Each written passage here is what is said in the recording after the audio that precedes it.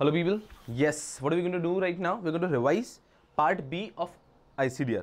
तो ICDR regulation का part A हमने एक बार रिवाइज किया था थोड़े दिन पहले एंड देर आफ्टर हमारा पार्ट बी जो था वो हमें रिवाइज करना था चैप्टर का उसको करते समय हमने कल रात को कोशिश की थी यूट्यूब पे लाइव जाके बट कुछ स्टूडेंट्स को प्रॉब्लम आ रहा था आई गेस ऑडियो में या कुछ and that is we could not continue the live streaming and that is why what I'm doing is I'm recording the entire thing right now so that I could upload it on YouTube so that I best possible तरीके से उसका revision कर सकें revision कराने के पहले मेरा simple peace of question जैसे मैंने पहले भी बताया था, एक व्यक्ति जिसने आईसीडीआर पहले पढ़ लिया है, उसके लिए ये रिविजन काम कर। उसके लिए रिविजन काम कर। दूसरी चीज़, अगर आप डायरेक्टली आईसीडीआर पार्ट बी पे आ रहे हैं तो पहले आप part A of the revision पढ़ लीजिए। ICDR part A already YouTube पे अपलोडेड है तो पहले आप पार्ट ए ऑफ़ रिविजन पढ़ लीजिए, फिर आप पार्ट बी के ऊपर आइए। तीसरा पॉइंट हो सकता है कोई व्यक्ति जिसने आईसीडीआर बहुत अच्छे से नहीं पढ़ा या फिर मैं जो कुछ टॉपिक्स डिस्कस कर रहा हूँ, उनमें से एक आधा पॉइंट उसने पढ़ा नहीं हो। तो भी आपको कोई प्रॉब्लम नहीं है, आप रिवीजन में मेरे साथ में रहिए। आपका एक सब्सटैंशियल आईसीडीआर खुद से पढ़ के होना चाहिए। फिर आप बचा हुआ मेरे साथ रिवीजन में पढ़ लीजिए। और वो टॉपिक जो मैंने एक बार पढ़ा दिया, जो आपने पहले कभी नहीं पढ़ा है, उसको आप मेरे रिवीजन के बाद में खुद से पढ़ेंगे तो भी आपको कंफर्ट लेवल रहेगा। एंड चौथी और आखिरी चीज़ the revision I am doing right now is applicable for C S executive as well as C S professional C S executive securities law C S professional corporate funding I am clear ठीक है? तो इन सब note के साथ में let's start the revision हम लोगों ने लास्ट लेक्चर में क्या कर लिया है? हम लोगों ने लास्ट पार्ट ए के अंदर हम लोग यहाँ तक आ चुके थे। Yes yes yes yes yes गधों।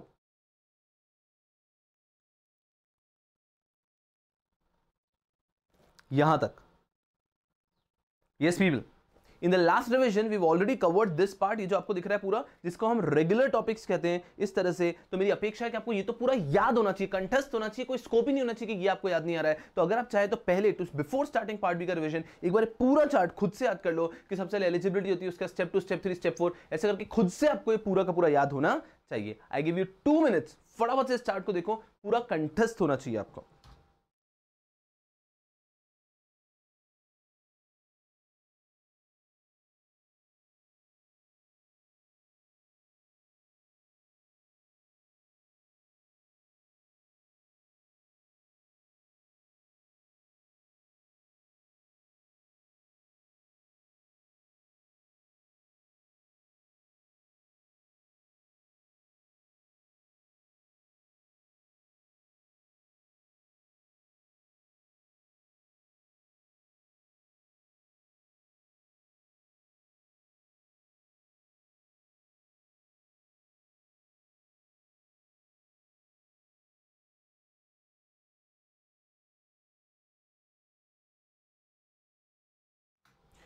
चलेगा तो एक बार आपने देखा होगा पूरा पूरा अगर कोई व्यक्ति चाहता है कि उसको थोड़ा सा याद नहीं आ रहा तो पहले उसको रिवाइज करो। अकेले बैठ के उसको पूरा याद करो एंड आफ्टर पार्ट बी के साथ आगे बढ़ो। हमने सबसे पहले इसके अंदर ये पढ़ लिया था, हमारे एडिशनल टॉपिक्स पढ़ना बाकी थे। फटाफट से पहले एडिशनल टॉपिक्स रैप अप करते हैं और फिर मैं आज के उद्देश्य के ऊपर आता हूँ। क्योंकि मेरा आज का उद्देश्य एडिशनल टॉपिक पढ़ाना नहीं है। अरे, ये तो दस मिनट के टॉपिक्स हैं। यहाँ पे कुछ नहीं है। मेरा आज का उद्देश्य है आपको ये जो स्पेशल प्रोविज़न है, ये पढ़ाना। स्पेशल प्रोविज़न मुझे सारे रिवाइज कराना फटाफट से exit opportunity right issue preferential issue pricing qualified institutional placement SME exchange innovators growth platform superior right equity shares quick revision वापस एक बार कि मेरा इंटेंशन है, मैं क्विकली क्विकली क्विकली क्विकली आपको पूरा सिलेबस आईसीडी का रिवाइज करवा दूँ। Without wasting any time I am directly hitting towards these additional topics चलो।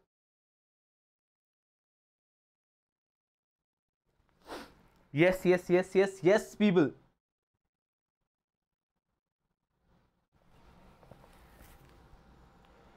Additional, additional, additional. Yes. These are all the additional topics which you need to know. एकदम carefully बात करते हैं सबसे पहला एडिशनल टॉपिक का एक टॉपिक था सबसे पहला आपका X1 types of issue issue कितने टाइप के होते हैं गधों को भी पता है इशू कितने टाइप के होते हैं public issue right issue bonus issue private placement public issue right issue bonus issue private placement public issue दो टाइप हो सकते हैं IPO and FPO private placement के अंदर it could be preferential issue institutional placement program and it could be qualified institutional placement institutional placement program की ख्याति कम कम कम कम होती जा रही है बट उसके कंसेप्ट को हम झुटला नहीं सकते। तो आज भी हम कह सकते हैं प्राइवेट प्लेसमेंट के तीन टाइप कह सकते हैं हम लोग। Preferential issue institutional placement program and qualified institutional placement क्योंकि टाइप्स ऑफ़ इशू गधे को भी ये तो क्लियर है।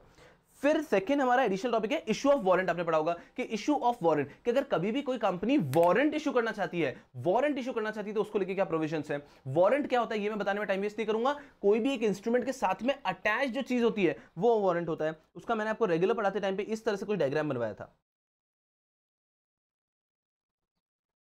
कि ये आपने मेन इंस्ट्रूमेंट खरीदा फॉर फॉर एग्जांपल डिबेंचर या फिर हो सकता है ये प्रेफरेंस शेयर कि आपने डिबेंचर प्रेफरेंस शेयर खरीदा, उसके साथ में आपको वारंट मिला है। This warrant gives you a right to buy equity share on a future date at a future price कि उस पर लिखा होगा कि ये डिबेंचर आपने खरीदा तो इसके साथ में आपको इक्विटी शेयर का वारंट मिला है। This warrant will give you right to buy equity share after one year for fifty rupees per share कि एक शेयर पचास रुपए में मिलेगा अगर आपके पास वारंट है तो तो warrant is not a security but it is an instrument which gives you right to buy security on a future date ठीक है, चलो। तो ये वारंट को लेके यहाँ पे प्रोविज़न क्या क्या है? देखो ध्यान से।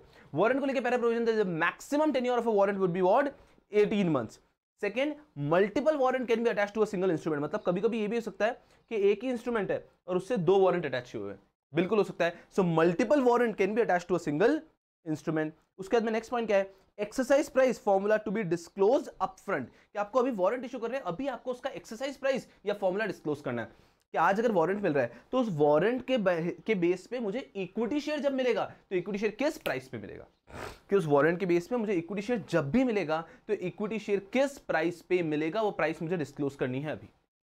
वो प्राइस मुझे अभी से डिस्क्लोज करनी है। So this price of formula has to be disclose upfront upfront मतलब at the time of issue itself next minimum 25 percent of the exercise price to be collected upfront also कि मान लीजिए मैं कह रहा हूँ कि यहाँ पे आपको इक्विटी शेयर मिलेगा at fifty rupees per share तो उसका 25 परसेंट तो आपको आज इस सिक्योरिटी के साथ में कलेक्ट कर लेना सो so, वारंट को लेके हम क्या क्या पढ़ रहे हैं? Maximum tenure could be 18 months उसके बाद में एक सिंगल इंस्ट्रूमेंट के साथ में मल्टीपल वारंट भी हो सकते हैं।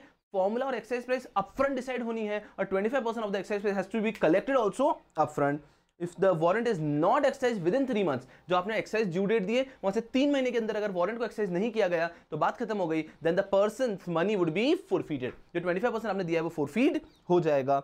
इस तरह से ये कुछ पाँच पॉइंट है अबाउट वारंट पहला 18 मंथ्स मैक्सिमम टेन्योर 18 मंथ्स दूसरा पॉइंट वारंट को लेकर क्या है? एक सिंगल इंस्ट्रूमेंट के साथ में, एक सिंगल सिक्योरिटी के साथ में मल्टीपल वारंट भी हो सकते हैं। उसके बाद में मुझे बताओ कि क्या अपफ्रंट डिसाइड होना चाहिए एक्साइज प्राइस या फिर फॉर्मूला फिर उसका 25 परसेंट कलेक्ट भी क्या हो जाना चाहिए अपफ्रंट और अगर ड्यू डेट से थ्री मंथ्स के अंदर आपने उसको एक्साइज नहीं किया तो ये जो 25 परसेंट आपने पहले से पे कर रखा था, वो क्या हो जाएगा आपका?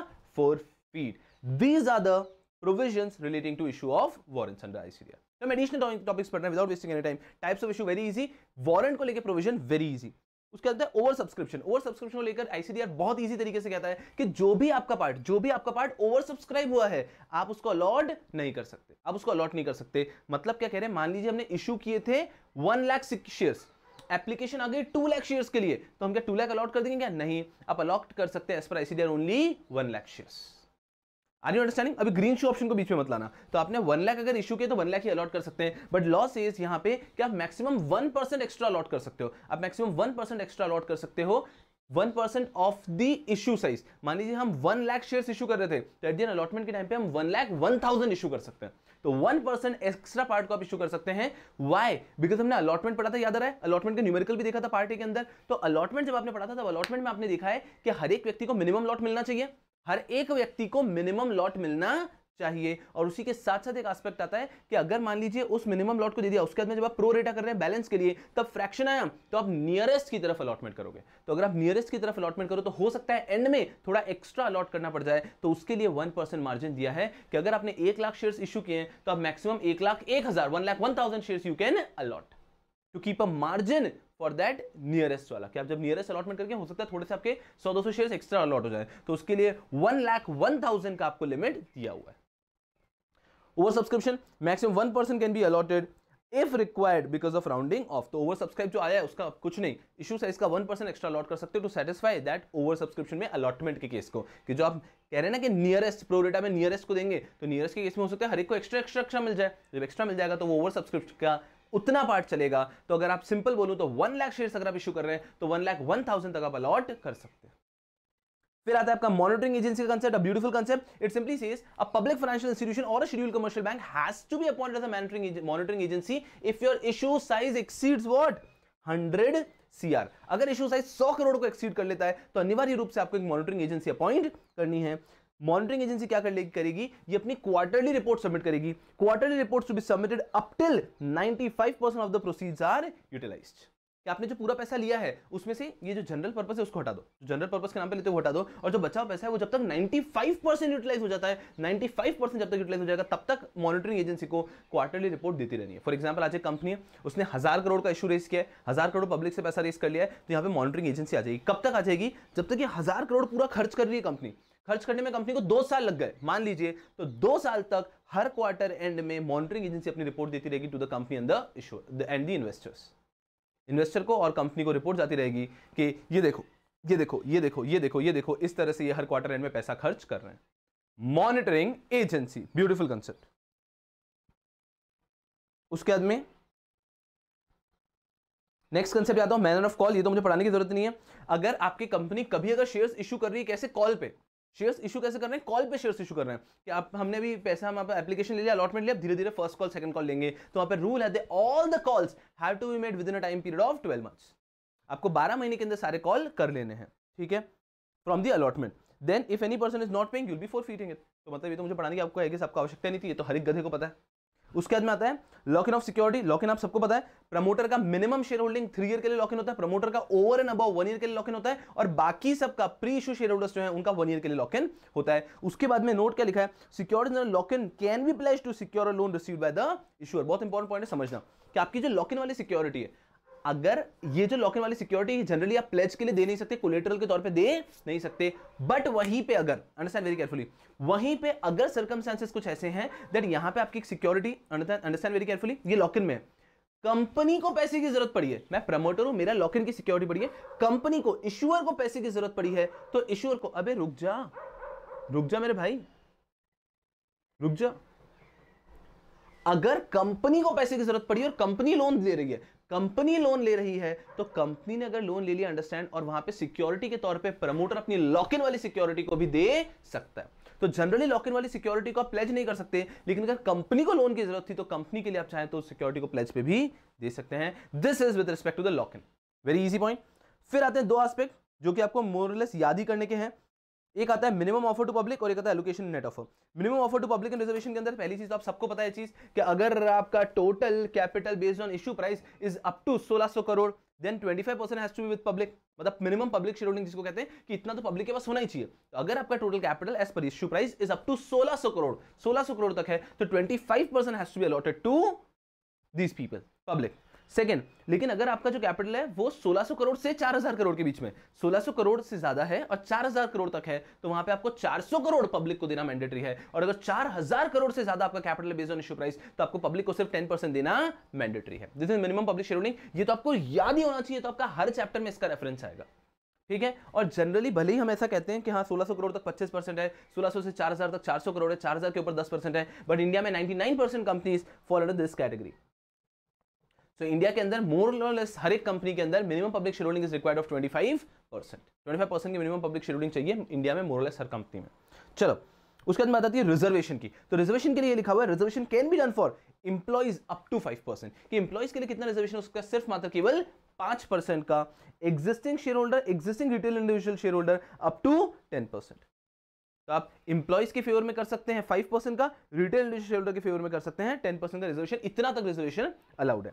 Note reservation can not be done in favour of any person associate with the issue हमारे इशू से जो भी व्यक्ति रिलेटेड है, उसके फेवर में किसी प्रकार का रिजर्वेशन नहीं हो सकता। डन उसके बाद में लास्ट आता है एलोकेशन नेट ऑफ़र ये मुझे पढ़ाना बाकी है। इसके अंदर तीन टाइप का होता है। आप समझ लीजिए कि एक होता है thirty two one thirty two two and thirty two four तो इसके ऊपर मैं आ रहा हूँ। पहले हमें ये क्लियर होना चाहिए। पहले ये पूरा क्लियर होना चाहिए। रुक जाओ एकदम आराम से। पहले गधों ऐसे मत देखो, इधर देखो। सिर्फ़ हेडिंग में देखता हूँ और लेट्स सी कि आपको वो याद रहता है कि नहीं रहता है। पहली चीज़ है टाइप्स ऑफ़ इशू बोलो गधों टाइप्स ऑफ़ इशू में क्या है? सबसे पहला public issue right issue bonus issue private placement public issue के दो टाइप बोलो। आईपीओ एफपीओ प्राइवेट प्लेसमेंट के तीन टाइप तीन ही बोल दो। अरे कोई एग्ज़ाम में क्वेश्चन थोड़ी है, हम सिर्फ़ एक्सप्लेनेशन के लिए कर रहे हैं। और वापस हम बोला क्वालिफाइड इंस्टीट्यूशनल जो इंस्टीट्यूशनल प्लेसमेंट प्रोग्राम है यहाँ पे, वो मोरलेस फेड अवे हो रहा है। लेकिन फिर भी कंसेप्ट को हम आज भी झुटला नहीं सकते, वो कंसेप्ट बिल्कुल एक्जिस्टेंस में है। चलो तो तीन हो गए हमारे टाइप प्राइवेट प्लेसमेंट के अंदर भी प्रेफरेंशियल इशू उसके बाद में institutional placement program and qualified institutional placement फिर आगे हम लोग वारंट को लेकर क्या प्रोविज़न होता है? वारंट को लेकर प्रोविज़न बोलो फटाफट से। सबसे पहले मैक्सिमम टेन्योर कितना हो सकता है वारंट का? 18 मंथ्स क्या एक इंस्ट्रूमेंट पे मल्टीपल वारंट्स हो सकते हैं? बिल्कुल हो सकते हैं। उसके बाद में मुझे बताओ कि हमें अपफ्रंट क्या फाइनलाइज करना होता है? या तो एक्सरसाइज प्राइस या फिर एक formula to finalize the exercise price उसके बाद में अपफ्रंट क्या कलेक्ट कर लेना है? 25 परसेंट ऑफ़ एक्सरसाइज प्राइस और उसके बाद में हमने पढ़ा कि अगर किसी व्यक्ति ने ड्यू डेट के थ्री मंथ तक एक्सरसाइज नहीं किया तो उसका अमाउंट क्या हो जाएगा? फोर फीट चलो, उसके बाद में ओवर सब्सक्राइब कितना ओवर सब्सक्रिप्शन का पोर्शन हम अलॉट कर सकते हैं? सिर्फ़ मात्र केवल वन परसेंट मॉनिटरिंग एजेंसी कि कौन पहले पॉइंट कौन मॉनिटरिंग एजेंसी की तरह अपॉइंट हो सकता है? कितने से बड़ा इशू है तो मॉनिटरिंग एजेंसी आपको अपॉइंट करना मैंडेटरी हो जाता है और मॉनिटरिंग एजेंसी को कितना पीरियोडिकल रिटर्न देना है? पहला, कौन अपॉइंट हो सकता है monitoring agency schedule commercial bank और public financial institution monitoring agency कब मैंडेटरी हो जाएगा? When the issue is for 100 CR से ज़्यादा एक्सीडिंग 100 सीआर उसके बाद में आखिरी आगे उनको रिपोर्ट कैसे देनी है? Quarterly report up till 95% of the issue proceeds have not been utilized without wasting any time call call पे वैसे मंगवा सकते हैं मंगवा सकते हैं बट 12 मंथ्स फ्रॉम अलॉटमेंट में सारे कॉल आपको रेस कर लेने हैं। तो जब अलॉटमेंट हो उसके 12 महीने के अंदर सारे कॉल ले लेने चाहिए और कोई व्यक्ति अगर कॉल मनी नहीं दे रहा है तो उसका शेयर आप कर सकते हैं four feet lock in of security promoter का minimum contribution has to be locked in for three years over and above has to be locked in for one year and pre issue share holders का shares have to be locked in for one year फिर उसके बाद में sir ये lock इन है तो हम इसको प्लेज कर सकते हैं क्या? नो no, आप प्लेज नहीं कर सकते। लेकिन अगर कंपनी को पैसे की ज़रूरत है तो आप अपनी सिक्योरिटीज को प्लेज कर सकते हैं। उसके बाद मिनिमम ऑफ़र टू पब्लिक तो अगर टोटल शेयर होल्डिंग जो शेयर कैपिटल है, वो as per issue price 1600 crore तक है तो 25 percent has to be with public 25 percent of the total shares have to be with public और अगर 1600 करोड़ से 4000 करोड़ है तो 400 करोड़ के shares have to be with public और अगर 4000 करोड़ से ज़्यादा तो 10 percent of total share capital has to be with public तो बड़ा रिजर्वेशन रिजर्वेशन कर सकते हैं क्या बिल्कुल इंप्लॉयज के फेवर में five percent retail individual share holder और एक्जिस्टिंग शेयर होल्डर के फेवर में टेन परसेंट और रिजर्वेशन आप कभी भी इश्यू से रिलेटेड लोगों के फेवर में नहीं कर सकते. टिंग टिंग tending are we all understanding so this is all with respect to the additional topics एक टॉपिक और एडिशनल खैर उसमें पढ़ाने जैसा कुछ नहीं है अलोकेशन एंड नेट ऑफ़र होता है। पूरी लिमिट आपको याद ही करनी होती है। बट एक बार देखते हैं कि आपको उसको किस तरह से याद करना है। मे बी आपको हेल्पफुल रहेगा। अलोकेशन नेट ऑफ़र की बुक बिल्डिंग के केस कैसे अलोकेशन होगा? क्वालिफाइड इंस्टीट्यूशन बायर को आप कितना अलॉट करेंगे मिनिमम तो तीन केसेस आते हैं। ये तीनों आपको याद होने चाहिए। याद मतलब याद। क्लियर चलो तो विदाउट वेस्टिंग एनी टाइम उस पर जाते हैं हम लोग।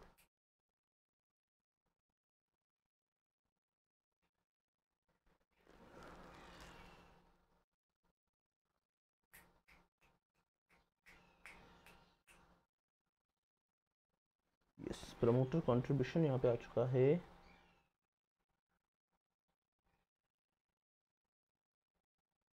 Yes people here it is देखो, मैंने रेगुलर बैच में भी गधों को क्या बोला था कि इसको यू टू कंपल्सरी इट कितना? फाइव टाइम्स बिकॉज़ ये एक लिमिट है जो आपको याद करके जानी है। समझते हैं एलोकेशन नेट ऑफ़र तीन तरह से अलॉटमेंट हो सकता है। First is thirty two one one twenty nine one के हिसाब से thirty two two one twenty nine two के हिसाब से and thirty two four one twenty nine four के हिसाब से। पहला भी बुक बिल्डिंग है, दूसरा बुक बिल्डिंग है, इसमें एक नॉर्मल बुक बिल्डिंग होता है ऑल्टरनेट बुक बिल्डिंग होता है बट उधर हमें जाने की, उतना जाने की ज़रूरत नहीं है। आपको सिंपल रखना है यहाँ पे। पहला बुक बिल्डिंग इशू तो समझना ध्यान से। Book building as per thirty two one book building as per thirty two two and fix price issue as per thirty two four fix price को छोड़ते हुए बुक बिल्डिंग में फोकस करते हैं। सुनो सबसे पहले, आपने मिनिमम कहाँ लिखा है? That is important thirty two one में minimum thirty five percent retail individual investor minimum fifteen percent to non institutional investor और थर्टी टू टू के अंदर minimum seventy five percent to Q I B minimum seventy five percent to Q I B तो आपको याद कुछ इस तरीके से रखना है कि ये चार्ट आपने खुद ने बैठ के बनाना है। I don't have so much space right now मैं वापस बनाऊँ। तो आपको इस तरह से बनाना है कि ये आपको दो तरह का ले लिया। समझना ध्यान से।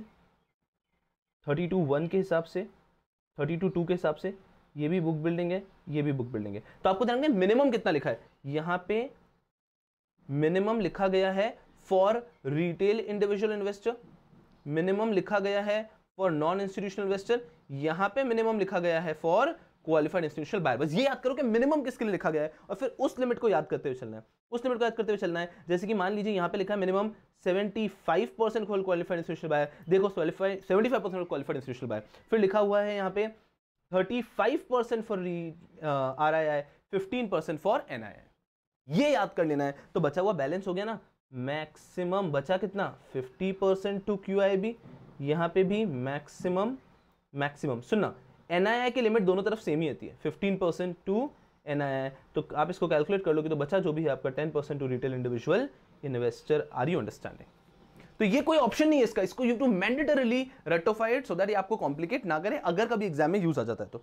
उसके बाद अगर फिक्स इशू प्राइस है तो minimum 15 percent has to be given to retail individual investor minimum 15 percent has to be given to retail individual investor balance आप चाहे वैसे अलॉट कर सकते हैं।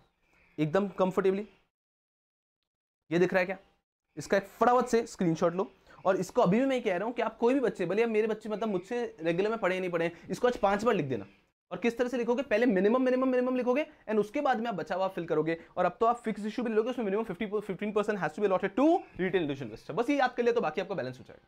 तो इसके बहुत सारे लॉजिकल एक्सप्लेनेशन भी हैं कि ये ऐसा क्यों है 75 परसेंट ही क्यों है, लेकिन it's just it's a quick revision तो वहाँ पे हम टाइम वेस्ट नहीं करेंगे अभी तो अभी सिंपल है कि लिमिट याद रखनी है, उससे आपका काम हो जाएगा। फुल स्पीड में इसका एक स्क्रीनशॉट लो।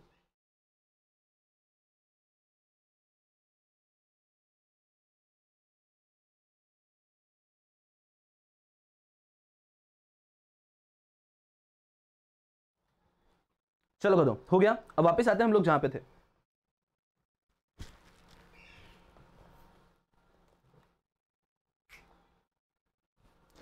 टोल्यू इस पर इतना ज़्यादा लिख चुके हैं PDF has become very heavy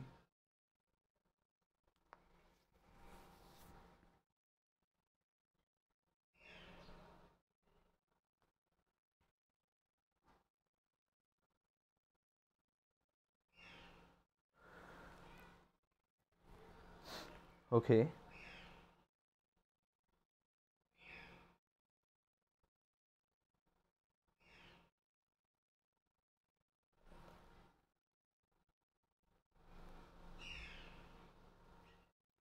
Yes yes yes yes wait wait wait wait wait wait wait चलो यार, ये रहा एडिशनल टॉपिक पूरा।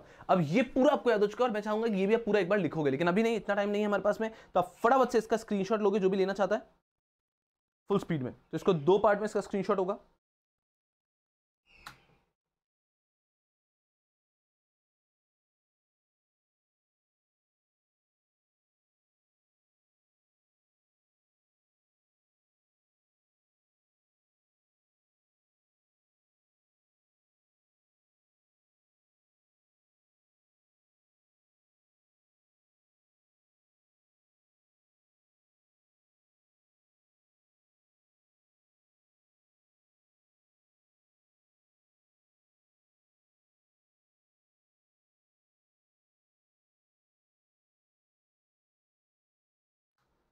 चलिए यार तो हमने क्या किया? हमने हमने फटाफट से जो एडिशनल टॉपिक्स थे वो खत्म कर लिए एंड फाइनली जो आज का उद्देश्य है, वहाँ से शुरू करते हैं। अब देखो आज का उद्देश्य क्या है? एक तो पीडीएफ इतना स्लो है बिकॉज़ ऑफ़ द कंटेंट इतना हैवी कर दिया इसको मैंने ये थोड़ा सा स्लो फ़ंक्शन करता है। रुको।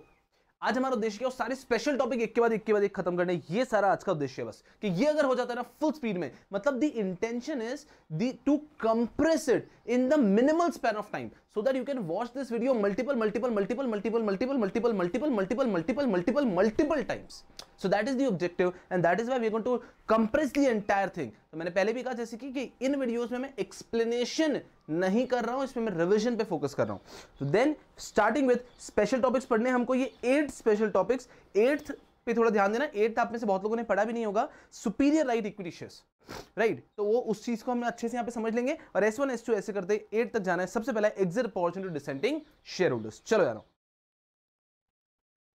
exit opportunity to dissenting shareholders exit opportunity to dissenting shareholders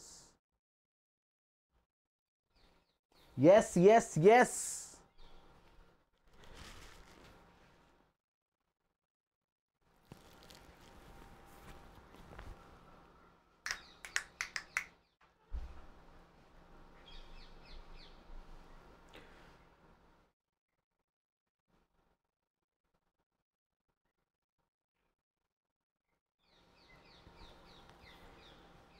right issue पे आ चुके हैं तो इसके पहले एग्जिट अपॉर्चुनिटी डिसेंटिंग शेड्यूलर्स ये रहा topic yes people so the first topic is exit opportunity dissenting shareholder सबसे आपको समझ में आना चाहिए कि what do you mean by this concept कि एग्जिट अपॉर्चुनिटी डिसेंटिंग शेड्यूलर का मतलब क्या है? इसका मतलब ये है कि कुछ हुआ ऐसा है कि हमने पब्लिक से पैसा रेस किया हमने एक प्रोस्पेक्टस दिखाया और उसके भरोसे पब्लिक से पैसा रीज किया। और जब पैसा आ गया उसके बाद में हम बोल रहे हैं कि यार प्रोस्पेक्टस में जो ऑब्जेक्ट लिखा है हम उस ऑब्जेक्ट के लिए किसी और ऑब्जेक्ट के लिए हमारा पैसा खर्च करना चाहते हैं। मतलब मैंने प्रोस्पेक्टस में तो लिख के दिया है that the company will be engaging in furniture business but now I want the company to handle electronic business as well तो मैं अगर ऑब्जेक्ट चेंज करना चाहता हूँ या फिर मैं कोई एक बहुत मटीरियल कॉन्ट्रैक्ट था जो मैंने आ, अपने प्रोस्पेक्टस में लिखा था और उसमें वेरिएशन करना चाहता हूँ तो वहाँ पे अगर मैंने ऑब्जेक्ट अगर मैंने जनरल मीटिंग में प्रपोजल रखा कि I want to change the object to this to electronic business से for example 75% people are agreeing देखो, अगर 75% लोग अग्री नहीं हुए तो तो आप कर ही नहीं सकते तो तो बात ही खत्म हो जाती है। लेकिन अगर 75% लोग अग्री कर गए कि हाँ आप ऑब्जेक्ट चेंज कर लो और वहाँ पे मान लीजिए 80% अग्री कर दिया 20% बोल रहे हैं, नहीं, हम नहीं चाहते कि ऑब्जेक्ट चेंज हो तो ये हुए डिसेंटिंग शेयर होल्डर ये हुए डिसेंटिंग शेयर होल्डर और सिक्योरिटीज लॉ क्लियरली कहता है कि इन डिसेंटिंग शेयर होल्डर्स को एक एग्जिट अपॉर्चुनिटी मिलनी चाहिए। Securities law clearly provides that these dissenting shareholders should be given an exit opportunity so there are various questions कि exit opportunity उनको किन price पे exit opportunity देंगे वगैरह वगैरह तो शुरू करते हैं what is dissenting shareholder dissenting shareholder means those shareholder who have voted against the resolution for change in object or variation in the term of contract referred to in the offer document of the issuer तो offer document जो objective लिखा है उसको या जो हमने उसके अंदर टर्म्स ऑफ़ कॉन्ट्रैक्ट लिखे, उसके अंदर वेरिएशन है तो उसे और वहाँ पे, उस वोट में जो अगेंस्ट वोट कर रहा है, वो है dissenting share holder condition for exit opportunity there are two condition जो कि कंप्लाई होनी चाहिए तो ही एग्जिट अपॉर्चुनिटी देना है। पहला, कि ये जो हमने प्रपोजल रखा था ऑब्जेक्ट चेंज करने का, इसको कम से कम टेन परसेंट लोगों ने डिसेंट किया अगर मान लीजिए पाँच परसेंट लोगों ने डिसेंट किया टेन परसेंट से कम ने डिसेंट किया तो एग्जिट अपॉर्चुनिटी देना अनिवार्य नहीं है। मिनिमम टेन परसेंट होना चाहिए डिसेंटिंग और दूसरा, ये जो आपने डेविएशन किया है समझना, जो डेविएशन किया है, उसके लिए भी लिमिट दे रखी है। The amount to be utilize for the object for the offer document issued is less than 75% of the amount raised मतलब क्या? मैंने कहा था कि हम पूरा पैसा फर्नीचर बिज़नेस में लगाएँगे। और अब हम अगर फर्नीचर बिज़नेस में 75% से कम पैसा लगा रहे हैं तो आपको एक्सिट अपॉर्चुनिटी देनी होगी। कहने का मतलब है कि अगर मैं कह रहा हूँ कि हाँ मैंने पूरा पैसा लिया था हज़ार करोड़ के फर्नीचर बिज़नेस में लगाऊँगा, और मैं कह रहा हूँ कि सौ करोड़ में इलेक्ट्रॉनिक्स में भी लगाने वाला हूँ तो एक्सिट अपॉर्चुनिटी देने की आवश्यकता नहीं है, क्योंकि नाइनटी पैसा तो आज भी फर्नीचर बिज़नेस में ही लग रहा है ना।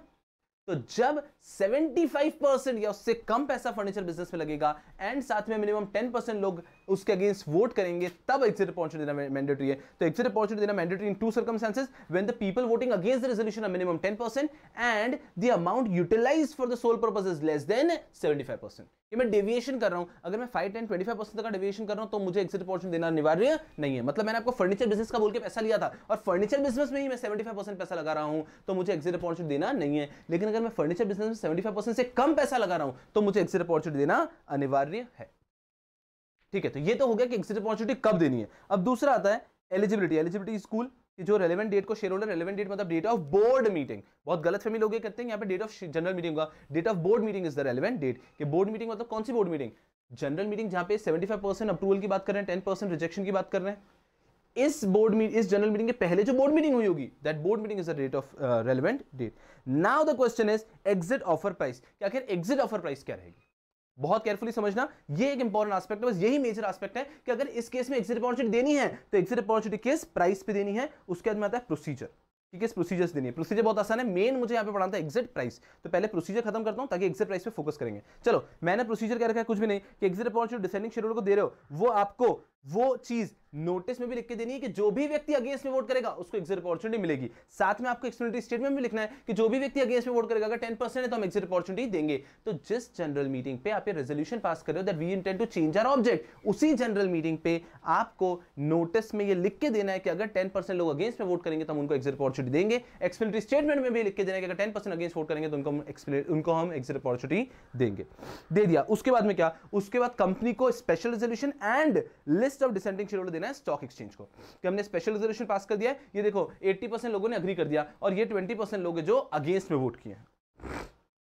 उसके बाद में you to appoint merchant banker finalize the exit price merchant banker को अपॉइंट करो एग्जिट प्राइस फाइनलाइज कर दो। एग्जिट प्राइस कैसे? उस फॉर्मुला से जो मेरा पढ़ाना बाकी उसके बाद में कंपनी इंफॉर्म करेगी स्टॉक एक्सचेंज को about the exit price stock exchange inform करेगा पब्लिक को about the exit price promoter share holder have to deposit amount payable in escrow account at least two days prior to the tender period मतलब हमने tender period चालू करना tender period क्या होता है?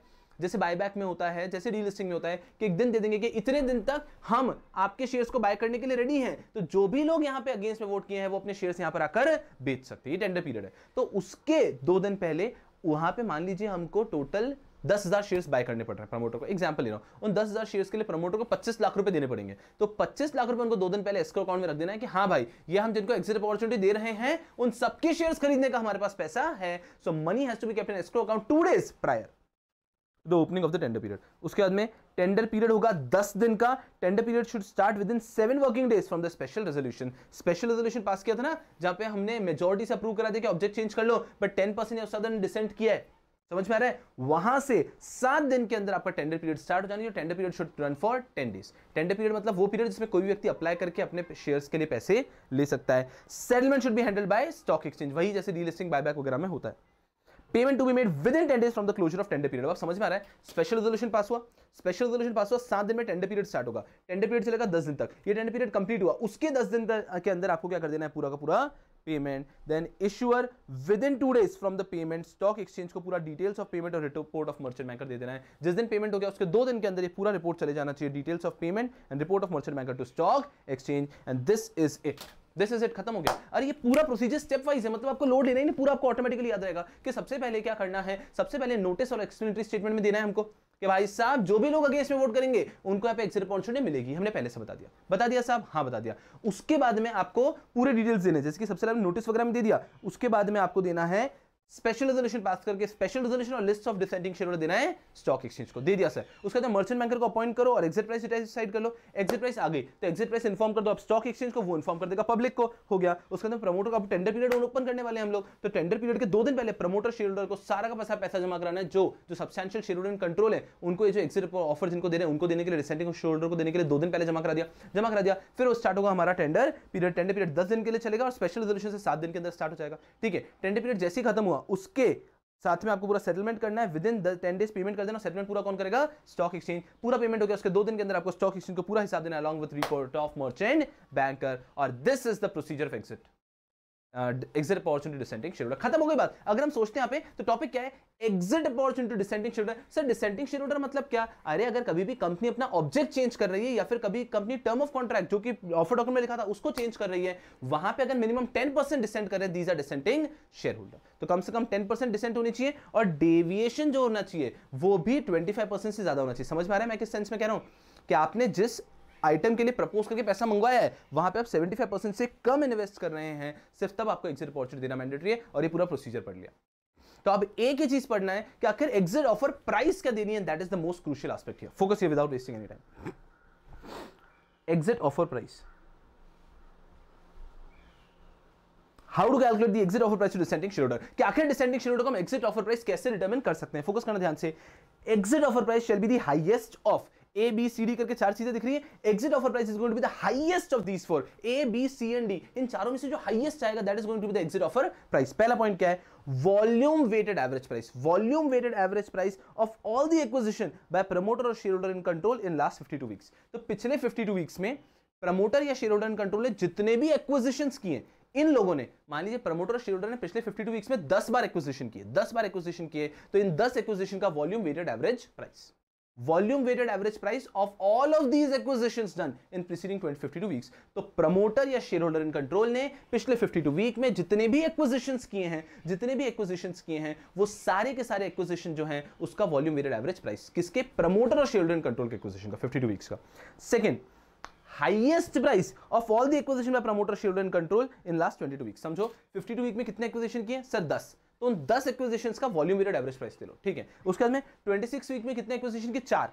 Total 52 week में 10 किए, उसमें से 6 किए थे बाद में और चार के पिछले 26 वीक्स के अंदर। तो यहाँ पे कितने? इसका जो हाईएस्ट प्राइस होगा, वो ले लो, ये दूसरा आ गया। तो पहला आ गया वॉल्यूम वेटेड एवरेज प्राइस दूसरा आ गया highest price of last 26 week okay तीसरा क्या है? सुनना ध्यान से। Volume weighted average price of all the trades not trade done by these promoter or small, or shareholder control. All the trades share market में जितने भी ट्रेड हुए उन सब ट्रेड का वॉल्यूम वेटेड एवरेज प्राइस ले लो ऑफ़ लास्ट 60 डेज़ ठीक है सर, ये भी आ गया। तो प्रमोटर और शेयर होल्डर कंट्रोल ने पिछले 52 वीक्स में जितने ट्रेड किए उसका वॉल्यूम वेटेड एवरेज ले लिया। प्रमोटर और शेयर होल्डर कंट्रोल ने पिछले 26 में जितना एक्विजिशन किया, उसका हाईएस्ट प्राइस ले लिया। और ऑल द शेयर होल्डर्स ने पिछले 60 ट्रेडिंग डेज़ में जितना ट्रांजैक्शन किया, उसका वॉल्यूम वेटेड एवरेज प्राइस ले लिया। ये तीनों, और डी पॉइंट आता है price determine by share holder control and promoter और promoter along with merchant banker ये सब जो पेपर पे कैलकुलेशन होता है बुक वैल्यू और सारे आपके पियर्स को देखते हुए, ये सब जो कंट्रोल करते हैं। तो एक और पेपर कैलकुलेट कर लिया हमने तो ये चार प्राइसेस आ गए। ये चार प्राइस में जो हाईएस्ट होगा that is going to be the exit price पहला प्रमोटर और शेयर होल्डर कंट्रोल ने पिछले 52 वीक्स में जो वॉल्यूम वेटेड एवरेज है प्राइस का एक्विजिशन का वो। सेकंड प्रमोटर और शेयर होल्डर कंट्रोल पिछले 26 में जो हाईएस्ट एक्विजिशन जिस प्राइस पे किया है वो, उसके बाद में सब लोग जो ट्रेड करें मार्केट में ऑल द ट्रेड्स का जो volume traded volume weighted average price of last 60 trading days वो, और उसके बाद में हमारे शेयर होल्डर कंट्रोल प्रमोटर और मर्चेंट बैंकर मिलकर एक पेपर कैलकुलेशन करके एक प्राइस देते हैं वो। इन चारों में the highest price is going to be the exit price are you will understanding तो एग्जिट प्राइस की बात करते हो, सबसे पहले कंसेप्ट क्लियर होना चाहिए प्रोसीजर क्लियर होना चाहिए और प्राइस कैलकुलेशन कंसेप्ट क्या? कि एग्जिट प्राइस कब देनी है हमको? एग्जिट अपॉर्चुनिटी कब देनी है हमें डिसेंडिंग शेयर को? तब देनी है हमें जब कम से कम 10 लोग डिसेंड 10 परसेंट लोग डिसेंड कर रहे हैं और हमने डेविएशन किया 25 परसेंट उससे ज़्यादा। मतलब जहाँ पे हमने बोला था पैसा, वहाँ पे 75 परसेंट से कम इन्वेस्ट कर रहे हैं। ये कंसेप्ट हो गया।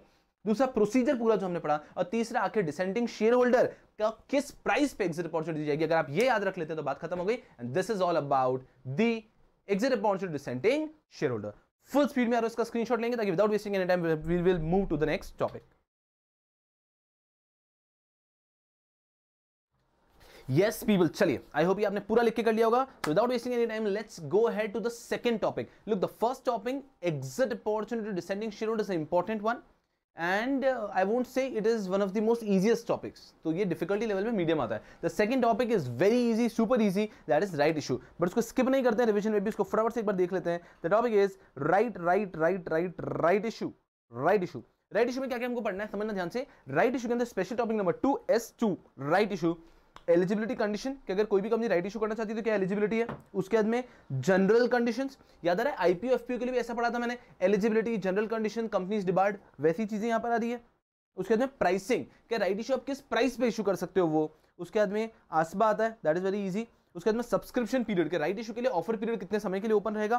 फिर पेमेंट ऑप्शन लोग कैसे, ये तो गधे सी बात की पेमेंट कैसे कर सकते हैं? पेमेंट या तो पूरा एक साथ में, या फिर पार्ट्स पार्ट्स में भी कर सकते हैं। तो that is something very obvious then comes reservation के राइट इशू में आप किस तरह से रिजर्वेशन रख सकते हैं? और उसी तरह से आगे जाएँगे, फिर आएगा प्रोसीजर ऑफ़ राइट इशू और राइट इशू मैं पढ़ाई रहा हूँ तो साथ ही साथ में कंपेयर करते हुए आपको बोनस इशू का भी प्रोसीजर पढ़ा दूँगा।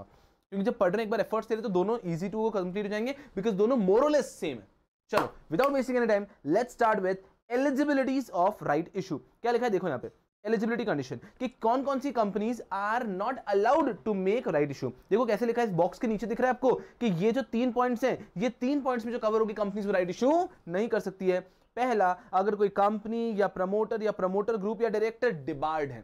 सेम लाइक आईपीएफपीओ कोई अगर कंपनी या कोई प्रमोटर या प्रमोटर ग्रुप या फिर directors have been specifically debarred by SEBI तो वो लोग एफपीओ लेकर नहीं आ सकते। वैसे वो लोग राइट इशू लेकर नहीं आ सकते। उसके बाद में अगर कोई कंपनी डिबार हुई है, उसका कोई प्रमोटर या डायरेक्टर है, जो किसी और कंपनी का भी डायरेक्टर है तो वो कंपनी भी डिबार हो गई। वापस रिपीट करता हूँ, हर जगह सेम पॉइंट है कि अगर कोई कंपनी डिबार हो गई है, उसका कोई प्रमोटर डायरेक्टर अगर किसी और कंपनी का भी डायरेक्टर है तो वो कंपनी भी डिबार्ड मानी जाएगी। वो कंपनी भी राइट इशू लेकर नहीं आ सकती है। एंड थर्ड पॉइंट अगर प्रमोटर डायरेक्टर फ्यूजिटिव ऑफेंडर अगर वो प्रमोटर डायरेक्टर फ्यूजिटिव ऑफेंडर है तो भी वो कंपनी राइट इशू लेकर नहीं आ सकती तो ये तीन एलिजिबिलिटीज हैं, या फिर कह सकते हैं तीन डिस्कालिफिकेशन है कि तीन कंपनीज़ राइट इशू लेकर नहीं आ सकती। वेरी इजी को फिर आता है जनरल कंडीशन जनरल कंडीशन बहुत ईजी है, जो नॉर्मली रखी जाती है, जो आईपीएफपी में पढ़ा आपने पहला। In principle approval in stock exchange से। All shares must be fully paid up firm arrangement for at least 75% of the remaining finance याद आ रहा है? 75% वाला रूल पढ़ाया था।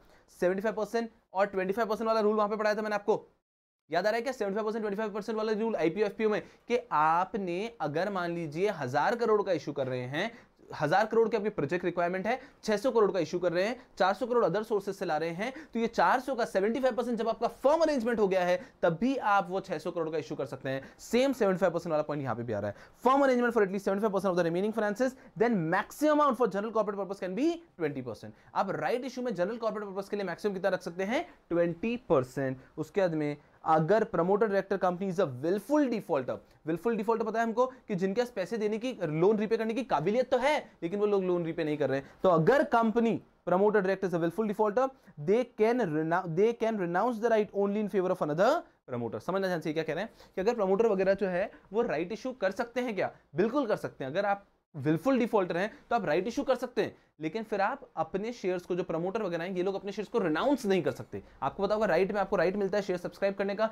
वो आप खुद भी सब्सक्राइब कर सकते हैं, फिर रिनाउंस भी कर सकते हैं। यहाँ इतना सा रेस्ट्रिक्शन है कि जो प्रमोटर होगा, वो रिनाउंस नहीं कर सकता और रिनाउंस करना ही चाहता है, वो कर सकता है only in favour of another promoter ये हो गया जनरल कंडीशन जनरल कंडीशन के अंदर पड़ा in principle approval from stock exchange हो गया। All shares must be fully paid up हो गया firm arrangement for at least 75% of the remaining finance हो गया maximum amount of maximum amount of general corporate purpose can be maximum 20 20% उसके बाद में promoter director हमारे जो प्रमोटर ग्रुप है, वो अगर विलफुल डिफॉल्टर है हमने पढ़ा तो उनको उस केस में वो रिनाउंस नहीं कर सकते। और करना ही चाहते हैं रिनाउंस अपना राइट तो वो कर सकते हैं only and only in favour of a promoter चलो यार तो ये हो गया क्या जनरल कंडीशन तो पहले पॉइंट पड़ा कि क्या क्या कौन कौन लोग राइट इशू नहीं ला सकते? अरे अगर आप लोग डिबार्ड हैं या फिर कोई कंपनी डिबार्ड थी, इसका प्रमोटर डायरेक्टर जो है, आपकी कंपनी का डायरेक्टर है तो वो भी आपकी कंपनी भी डिबार हो जाएगी। और तीसरा पॉइंट पढ़ा हमने, या फिर अगर प्रमोटर डायरेक्टर आपका क्या है? फिजिटिव ऑफेंडर तो इस केस में आप डिबार्ड है। फिर जनरल कंडीशन है स्टॉक एक्सचेंज अप्रूवल ले लेना, ये कर लो, ये कर लो, ऐसे करके जनरल कंडीशन है इजी प्राइसिंग में कुछ भी नहीं पढ़ना है। Company can decide the price in consultation lead manager कि company in consultation lead manager decide कर सकती है, लेकिन price can never be less than face value face value से कम नहीं होनी चाहिए and price has to be disclose in offer document मेरी आपसे एक रिक्वेस्ट रहेगी कि जो स्टूडेंट्स ऐसे ना, जो इस पे मतलब देखो, वैसे ये लेक्चर किसके लिए, जिसका पूरा ऐसी हो चुका है क्विकली रिवाइज करना है। कि एग्ज़ाम के दिन पहले हमें डर लग रहा है तो हम एक घंटे पूरा ऐसी रिवाइज करना चाहते हैं। तो आप पूरा फुल फ्लेजेड फास्ट तरीके से रिवाइज करने के लिए वीडियो बन रहा है। तो अगर आपको कभी लगता है कि समरी आपके नहीं तो फटाफट समरी पेन डाउन भी कर सकते हैं आफ्टरवर्ड्स लेक्चर मैंने, मेरा लेक्चर पूरा देख लो, उसके अंदर बैठ के एक बार समरी पेन करो ताकि एग्ज़ाम के एक दिन पहले ये समरी आपके पास पहले से रहेगी। और एक और चीज़ कहा ये फॉर एग्जीक्यूटिव एंड प्रोफेशनल्स है। तो आप लोगों को लग सकता है ये तो एक्स्ट्रा टॉपिक है तो पढ़ लो, कोई नुकसान नहीं है। फिर आता है आसबा, कि आसबा की फैसिलिटी देना अनिवार्य है, जहाँ पे आपने एक ही ऑप्शन दिया है। तो अगर आप पेमेंट का एक ऑप्शन ही दे रहे हैं तो एक के साथ में आसबा देना मैंडेटरी है। तो ASBA is mandatory when you are providing just one payment option तो अगर आप पेमेंट ऑप्शन एक ही दे रहे हैं तो आसबा देना मैंडेटरी सर अगर हम पहले से दो तीन पेमेंट ऑप्शन दे रहे थे तो आसबा देना मैंडेटरी नहीं तो आसबा देना मैंडेटरी होगा अगर if it all you giving just one payment option उसके अंदर subscription period for right issue the subscription period is going to be 15 to 30 days 15 से 30 दिन के बीच का पीरियड रख सकते हैं सब्सक्रिप्शन के लिए, जिसके अंदर एग्जिस्टिंग लोग आके अप्लाई करेंगे। पेमेंट ऑप्शन कैसा है? वेरी सिंपल कि या तो आप पार्ट पेमेंट रख सकते हैं या फिर full payment on application generally full payment on application ही रहता है। अब आता है पॉइंट रिजर्वेशन रिजर्वेशन कैसा रहेगा? कंपल्सरीली आपको रिजर्वेशन करना in favour of the outstanding convertible security कि अगर आपकी कोई भी कन्वर्टेबल सिक्योरिटी भी आउटस्टैंडिंग है और आप राइट इशू कर रहे हैं तो उनके लिए उनका पोर्शन रिज़र्व करके रखना मैंडेटरी है तो राइट इशू करते हैं कंपल्सरी रिजर्वेशन आता है in favour of outstanding convertible security और आप चाहें तो ऑप्शनली आप रिजर्वेशन दे सकते हैं for employees up to maximum two lakh rupees कि इंप्लॉइज को मैक्सिमम दो लाख रुपए तक आप रिजर्वेशन दे सकते हैं, लेकिन जब इंप्लॉयज को दो लाख का रिजर्वेशन देते हैं, वहाँ पे एक थोड़ा सा कैच आता है, वो समझना एक पॉइंट इतना सा है कि वैसे तो दो लाख का ही हमको रिजर्वेशन दे सकते हैं इंप्लॉइज को but if at all if at all ऐसा हो गया कि इंप्लॉय की जो हमने कैटेगरी रिज़र्व की, उसके अंदर हमारे पास लोगों की एप्लीकेशन ही नहीं, खाली पड़ा हुआ है, हमारे पास इंप्लॉइज को देने के लिए और शेयर है तो एक इंप्लॉय को दो लाख से ज़्यादा भी दे सकते हैं but maximum five lakh rupees तो पर इंप्लॉय दो लाख तक ही मिलेगा रिजर्वेशन के अंदर, लेकिन अगर इंप्लॉय का पोर्शन ही बच गया है तो हर एक इंप्लॉय को पाँच पाँच लाख भी मिल सकता है। मैक्सिमम फाइव लाख तक जा सकते हैं बट जनरली दो लाख ही दिया जाएगा हर इंप्लॉय को रिजर्वेशन ये हो गया ऑप्शनल रिजर्वेशन कन्वर्टेबल सिक्योरिटी के फेवर में तो कंपलसरी रिजर्वेशन कराना है। और ये जो सिक्योरिटी हमारी, ये हमारे कर सकते हैं इंप्लॉइज के फेवर में ऑप्शनल रिजर्वेशन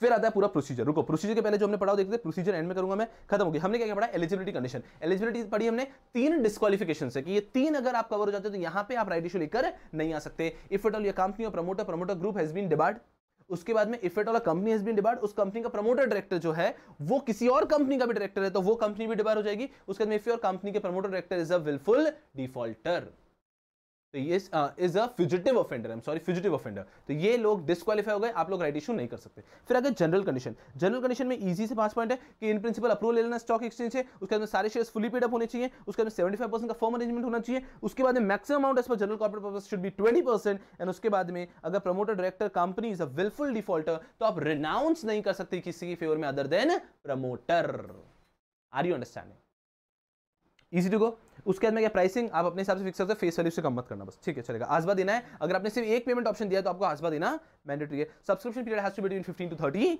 days उसके बाद पेमेंट ऑप्शन हो गया, उसके बाद में रिजर्वेशन की बात करता हूँ। तो कंपलसरी आपको रिजर्वेशन करना है, अनिवार्य रूप से आपको रिजर्वेशन करना है in favour of outstanding convertible security और आप ऑप्शनल तरीके से रिज़र्व कर सकते हैं इन फेवर ऑफ़ इंप्लॉइज उसके बाद प्रोसीजर पे आ जाते हैं। आर यू अंडरस्टैंडिंग अगर मैं बात करता हूँ तो अभी तक जो मैंने पढ़ा है वो इतना इंपॉर्टेंट नहीं है। सबसे इंपॉर्टेंट प्रोसीजर अगर मैं पास्ट ईयर पेपर्स देखता हूँ तो आज तक बाकी कुछ पूछा नहीं गया लेकिन प्रोसीजर ही है जो एग्ज़ाम में बार बार बार बार पूछा गया। एग्ज़ाम में केस स्टडी पैटर्न में क्वेश्चन आ जाता है कि एक्स ने ये क्या, वो क्या, ये क्या, वो क्या और लास्ट में कहना जाता है give the procedure for right issue आपको राइट इशू का प्रोसीजर देना है। Are we getting a fair idea simple है हम लोग? चलो यार। तो राइट इशू के साथ में बोनस इशू को रैप अप कर लेंगे हम लोग यहाँ पे। कुछ है ही नहीं। सबसे पहले देखो मैंने किस तरह से कराया आपको दो बॉक्सेस दिख रहे होंगे।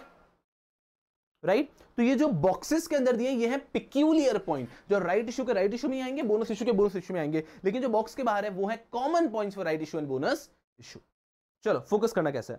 सबसे पहले राइट इशू फोकस करते हैं। कि राइट इशू अगर कभी भी करना चाहते तो सबसे पहले क्या करेंगे? Step one you check your authorise share capital कि आपकी ऑथराइज शेयर कैपिटल जो है वो इनफ तो है ना? पता चला हमारी कंपनी की existing share capital eight CR authorise share capital ten CR और हम तीन करोड़ का राइट इशू करना चाहते हैं तो कर सकते हैं क्या?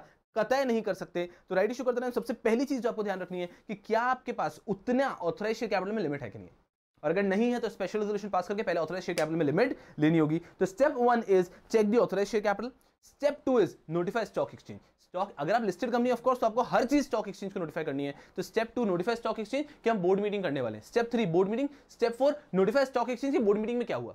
तो बोर्ड मीटिंग के पहले भी notify stock exchange board meeting के बाद भी नोटिफाई स्टॉक एक्सचेंज पहले भी नोटिफाई स्टॉक एक्सचेंज बाद भी नोटिफाई स्टॉक एक्सचेंज तगड़ता तगड़ता तगड़ता ता फोकस करो यहाँ पे। Check the authorise share capital सबसे पहले, उसके बाद में आ गया नोटिफाई स्टॉक एक्सचेंज उसके बाद में आ गया कंडक्ट बोर्ड मीटिंग वापस नोटिफाई स्टॉक एक्सचेंज उसके बाद में appoint merchant banker and file draft letter of offer to SEBI and stock exchange appoint merchant banker and draft and file draft letter of offer to SEBI and stock exchange are you understanding अगर मैं bonus में देता हूँ तो यही point आता है। Check authorized share capital, notify stock exchange, conduct board meeting, notify stock exchange and appoint merchant banker. Appoint merchant banker is of course optional, bonus issue में। Right इशू में तो आप करते ही हैं, bonus इशू में करना चाहे तो कर सकते हैं। ऐसा समझ लो। आर यू अंडरस्टैंडिंग तो पहले पाँच पॉइंट तो सेम ही हो गए मोरलेस फिर आखिरी के तीन पॉइंट पे आता हूँ। रुको। फाइनलाइज अलॉटमेंट अलॉटमेंट को फाइनलाइज कर दो, ठीक है? उसके बाद में conduct board meeting board meeting करना पड़ेगा ना? अलॉटमेंट सिर्फ़ कौन कर सकता है? बोर्ड तो conduct board meeting allotment and lastly final application stock exchange for listing कि हे स्टॉक एक्सचेंज हम ये जो हमारे एडिशनल शेयर से बली बोनस इशू इशू इनको भी लिस्ट कराना चाहते हैं। तो you understand finalise allotment board meeting and allotment and final application stock exchange for listing ये तीन पॉइंट्स है जो एंड में भी आने ही आने हैं। आर यू अंडरस्टैंडिंग खत्म हो गई बात। तो पहले पाँच और आखिरी के तीन तो कॉमन हो गए। तो पहले पाँच कौन से पॉइंट है? बोलो बोलो, फटाफट मेरे साथ में। सबसे पहला check authorise share capital authorise share capital check कर लिए टिक। उसके बाद सेकंड पॉइंट क्या है? Notified stock exchange conduct board meeting notified stock exchange appoint merchant banker and file the draft letter of offer appoint merchant banker finalise allotment board meeting and allotment and final application stock exchange for listing are you understand अब board meeting bonus issue में खत्म ही कर देता हूँ। Bonus issue में दो ही point और आते हैं। एक आता है issuer prepare list of allottees for bonus issue क्योंकि बोनस इशू तो सबको ही करना है ना। तो यहाँ पे तो आपको एप्लीकेशन अलॉटमेंट का फंडा ही नहीं है। तो you finalise the list of allottees की किन किन को देना based on record date and issue period bonus issue must be implemented within 15 days from the date of application तो आपने जब अप्रूवल लिया सॉरी जिस दिन अप्रूवल लिया है, उसके 15 दिन के अंदर बोनस इशू आपको इंप्लीमेंट करना है। Bonus issue has to be implemented within 15 days from the date of application वहीं राइट इशू की बात करता हूँ तो राइट इशू में ये होने के बाद, पाँच पॉइंट के बाद में मर्चेंट बैंकर अपॉइंट करना एक और बोर्ड मीटिंग करते हैं आप। Conduct board meeting number two number of shares finalise करते हैं, कितने देने हैं proportion of right share proportion क्या रखना है रिकॉर्ड डेट फिक्स करो। बोनस इशू में भी रिकॉर्डेड फिक्स करनी पड़ो, पहली बोर्ड मीटिंग में हम कर देंगे। उसके बाद में appoint underwriter finalise the letter of offer ये सारी चीज़ें आपको करनी है बोर्ड मीटिंग करके। फिर company gives letter of offer to stock exchange and shareholder उसके बाद company gives letter of offer in as an advertisement in English newspaper Hindi newspaper and regional newspaper arrangement with banker and right issue period is 15 days to 30 days 15 से 30 जो हम पहले ही पढ़ चुके हैं। तो आप समझो, सर, ये सब बोनस इशू के अंदर क्यों नहीं है? ये चार पॉइंट बोनस इशू में क्यों नहीं है? ये चार पॉइंट ये चार point one two one two three four इससे नहीं है। ये चारों किससे रिलेटेड है? कि हमें लोगों से पैसा लेना है तो कितना पैसा लेना है? और बोनस इशू में तो पैसा ही नहीं लेते ना। Getting a fair idea? And this is how you have to ensure that you remember all the points. This is how you have to ensure that you remember all the points. तो आपको सारे points किस तरह से याद रखने हैं? आप समझो मेरी बात को। ये भी तो सेम पॉइंट ही है। इशू पीरियड को लेके। तो बोनस इशू के अंदर it has to be implemented within 15 days और राइट इशू के अंदर 15 to 30 days are you getting a fair idea तो इस तरह से आपको याद रखना है। तो सिंपल हो गया। पहले पाँच पाँच सेम हो गए। उसके बाद में यहाँ पे चार पिक्यूलियर पॉइंट्स है कि एक और बोर्ड मीटिंग करेंगे लेटर ऑफ़ ऑफ़र इनको भी दे देंगे, इनको भी दे देंगे और अरेंजमेंट फिर बैंकर भी कर देंगे। यहाँ पे क्या है? अरे कुछ नहीं अलॉटीज का लिस्ट फाइनल कर दो। फिर यहाँ पे पीरियड कितना होगा? 15 टू 30 डेज़ यहाँ पे it has to be implemented within 15 days फिर वापस वही कि अलॉटमेंट फाइनलाइज करो board meeting and allotment and last में क्या हो जाएगा? टिंग टिंग टिंग final application stock exchange for listing are you understanding चलो, नहीं नहीं नहीं थकेंगे नहीं आ रहा हूँ बैक टू बैक ये चीज़ करनी है। ये हर एक व्यक्ति को होना चाहिए। ये प्रोफेशनल के अंदर मैं उम्मीद कम करता हूँ कि इस पे क्वेश्चन पूछेंगे भरोसा नहीं इंस्टीट्यूट का, लेकिन एग्जीक्यूटिव में तो इस पे बार बार बार बार बार बार क्वेश्चन आए हुए हैं। तो इसको आप अच्छे से कर लेंगे। Are you getting a fair idea professional के बच्चों, एकदम केयरफुली समझो कि प्रोफेशनल में भरोसा नहीं है। क्या पता आ गया तो बोनस मार्क्स है ना अपने लिए। फुल स्पीड में इसका स्क्रीनशॉट लेंगे जिनके से लिखा हुआ नहीं है। फुल स्पीड में।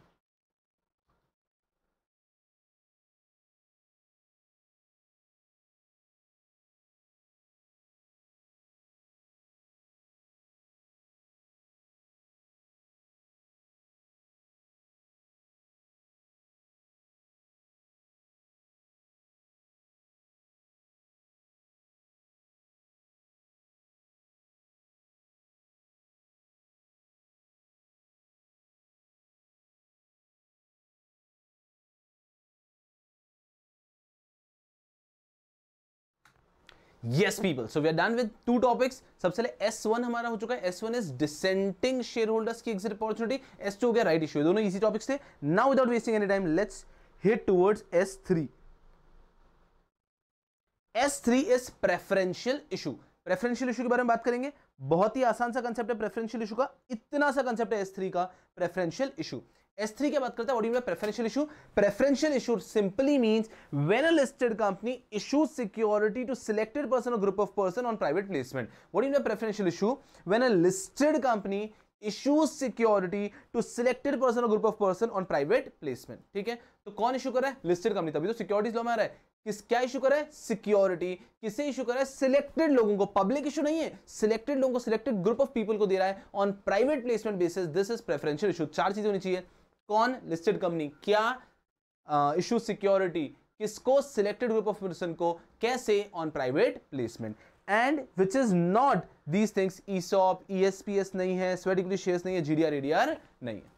Preferential issue preferential issue refers to listed company issuing security to selected person selected group of person on private placement basis and is not covered under employ stock option purchase employ stock purchase scheme sweat equity shares और any type of depository receipts issued outside India जो यहाँ cover नहीं होता that is preferential issue अब सवाल हमारे लिए है कि प्रेफरेंशियल इशू करने के लिए क्या क्या सिचुएशन क्या क्या कंडीशन को कंप्लाई करना है? पहली condition is special resolution pass करना चाहिए। दूसरा shares must be fully paid up तीसरा all the shares have to be demat form next comply with continuous listing agreement continuous listing agreement का मेन फोकस होता है मिनिमम पब्लिक शेयर होल्डिंग पे. And next obtain PAN of all the allottees बस ये पाँच condition अगर आपने comply कर दिया प्रेफरेंशियल इशू कर सकते हैं। वापस एक बार देखते हैं। पहली condition special resolution has to be passed next shares must be fully paid up next it has to be in demat form next it has to comply with continuous listing agreement and next you to obtain PAN for all the allottees. If at all you are able to do this then nothing else. And this is simple easy preferential issue. Ting ting ting, ting. खत्म हो गई बात। Are we understanding? What is preferential issue? When a listed company issuing security to selected group of person on private placement basis not covered under ESOP, ESPS, sweat equity share, GDR, ADR, that is preferential issue. Sir, क्या क्या करना होगा सबसे पहले special resolution pass करना होगा सारे shares fully paid up होने चाहिए सारे शेयर्स डीमैट फॉर्म में होने चाहिए to comply with the continuous listing agreement and lastly obtain PAN of all the allottees and this is how you go for preferential issue are you understanding and this is how S3 is over S3 हो गया खत्म yes people चलो फटाफट से full speed में इसका आप लोग स्क्रीनशॉट स्क्रीनशॉट स्क्रीनशॉट स्क्रीनशॉट फटाफट से।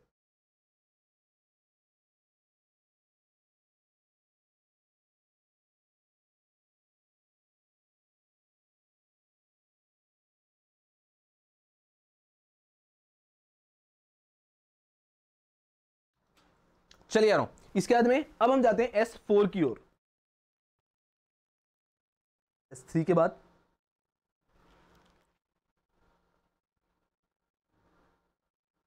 S four S pricing pricing एक अलग ही फंड है। बहुत सारे बच्चे इन्होंने ये नहीं पढ़ा होगा। इसको इतना लोड नहीं लो, लेकिन एक बार समझ ली तो अच्छा है।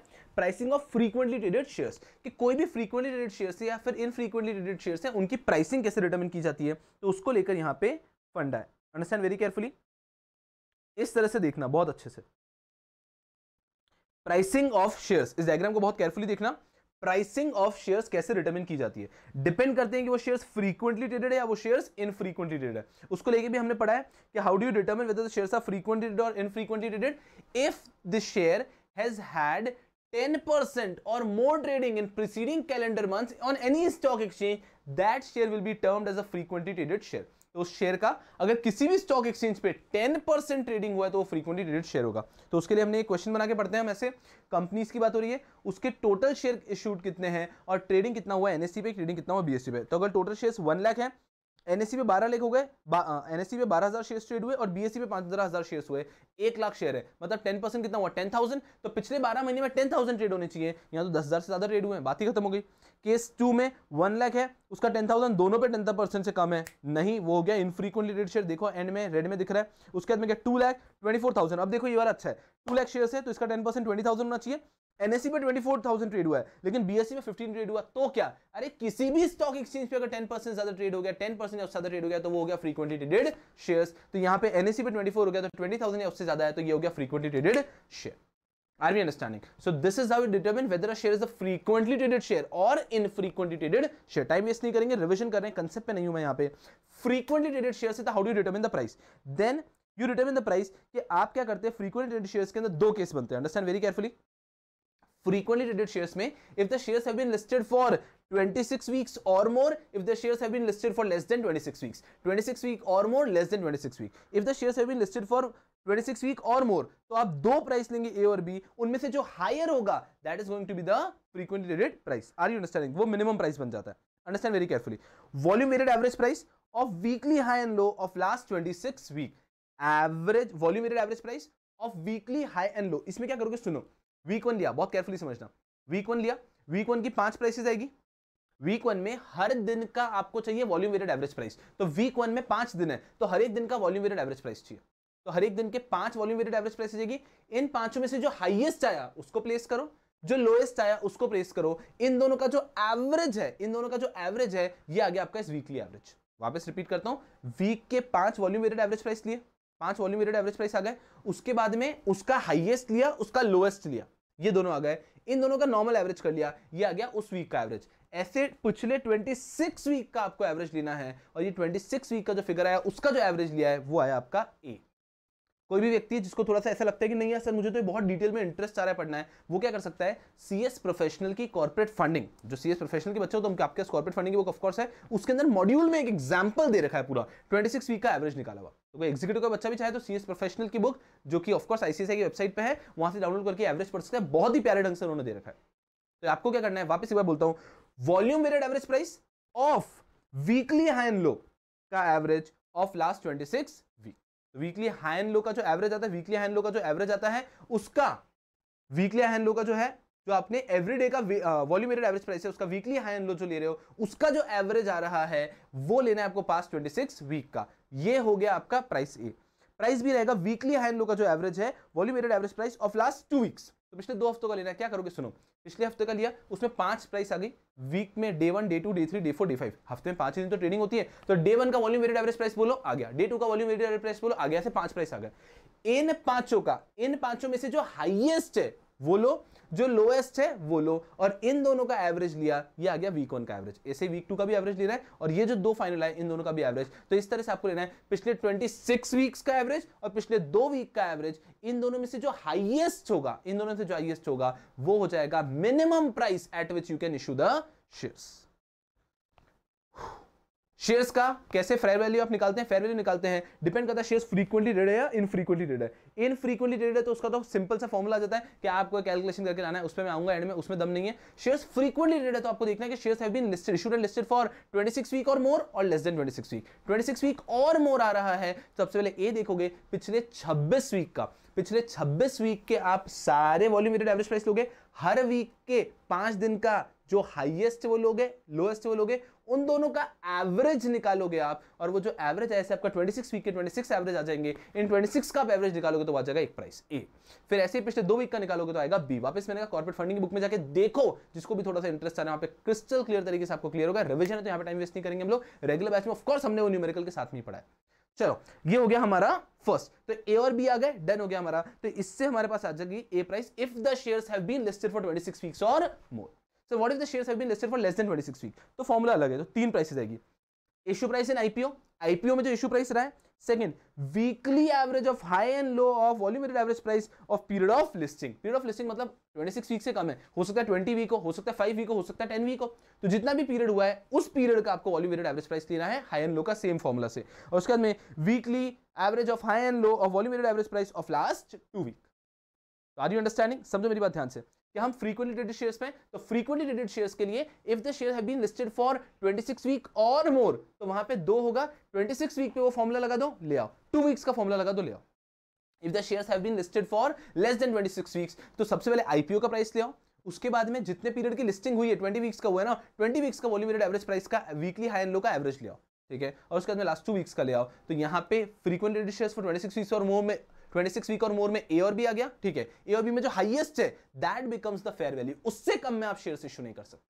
उससे कम में आप शेयर इशू नहीं कर सकते। वहीं अगर मैं यहाँ पे बात करता हूँ ए बी और सी की ए बी और सी की तो ए बी और सी में से जो हाईएस्ट है that becomes the fair value उससे कम में आप शेयर इशू नहीं कर सकते। Are understanding. एक बात तूफ़ान पॉइंट समझने की कोशिश करना, अगर जिन्होंने पढ़ा है उनको अच्छे समझेगा। ये हो गया, उसके बाद में इन तीनों की आपने फेयर वैल्यू निकाली समझना बहुत केयरफुली इन तीनों की ए बी और सी इन तीनों से आपने फेयर वैल्यू निकाली यहाँ से आपकी फेयर वैल्यू आ गई। अब मान लीजिए आपकी कंपनी को शेयर इशू किया मैं धीरे स्लो डाउन कर रहा हूँ। ये पॉइंट अच्छा है, समझना। क्या हुआ है? हमारे shares have been issued for last twenty weeks only twenty weeks तो हमारा ये वाला फॉर्मूला आएगा ट्वेंटी वीक्स का। तीनों का लगाया और तीनों से हमारी आगे मान लीजिए फेयर प्राइस दो सौ। दो सौ रुपये में हमने टू हंड्रेड में शेयर्स इशू कर दिए। फिर जब हमारा ट्वेंटी सिक्स वीक पूरा होगा ट्वेंटी वीक्स पे था तो ट्वेंटी वीक्स के हिसाब से फॉर्मूला लगा के इशू कर दिया। ट्वेंटी सिक्स वीक जब पूरा होगा तो वापस आपको ट्वेंटी सिक्स वीक के हिसाब से कैलकुलेट करना है। तब मान लीजिए आपकी फेयर प्राइस अगर 220 आती है तो पहले आपने शेयर्स 200 में दे दिए थे और अब फेयर वैल्यू 220 आ रही है। After completing 26 I you I hope your understanding 20 week पे हम शेयर इशू कर रहे हैं। 20 वीक का फॉर्मुला लगा के 200 में शेयर दे दिया।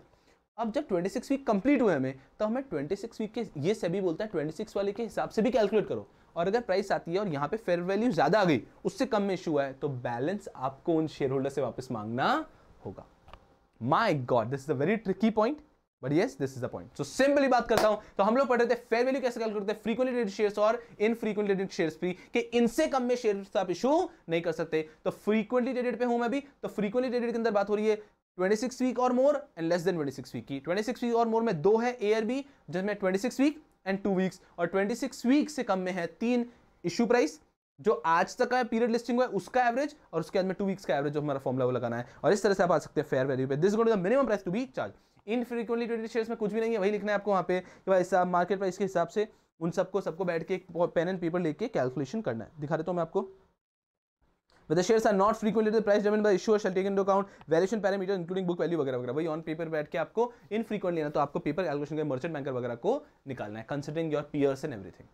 So this is how you price your share. Frequently traded shares का कैसे price करते is important very carefully. So this was uh, this was uh, S4. S5 बहुत इंपॉर्टेंट है उसके बाद में S6, X7, X जो है वो एक अलग लाइन पे जाते हैं जो हमारा नेक्स्ट होगा बहुत ही भारी होने वाला है because that is going to be the favorite the favorite the favorite favorite topic of examiner. अरे हे पीडीएफ चलो। Yes qualified institutional placement that is going to be S तो दिल थाम के बैठना। पहले आप लोग क्या करो फुल स्पीड में इसको पेन डाउन करो। पेन डाउन नहीं करो, इसका स्क्रीनशॉट लो सॉरी इसका भी स्क्रीनशॉट लेना, इन दोनों का स्क्रीनशॉट लो।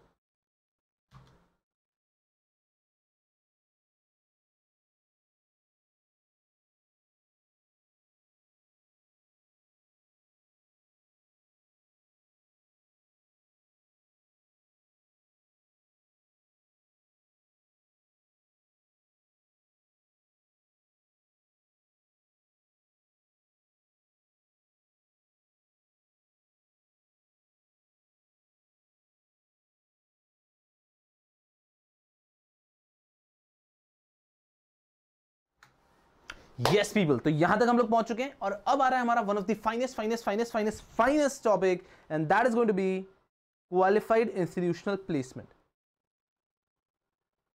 मतलब आपको दीवानों जैसे पढ़ना है क्वालिफाइड इंस्टीट्यूशनल प्लेसमेंट और यही है उसका एस्पेक्ट जो आपको बहुत डिटेल में पढ़ना है क्वालिफाइड इंस्टीट्यूशनल प्लेसमेंट कहने को उसके अंदर बहुत कुछ होता है, लेकिन हमें बहुत कुछ बहुत कुछ बहुत कुछ पे फोकस नहीं करना है।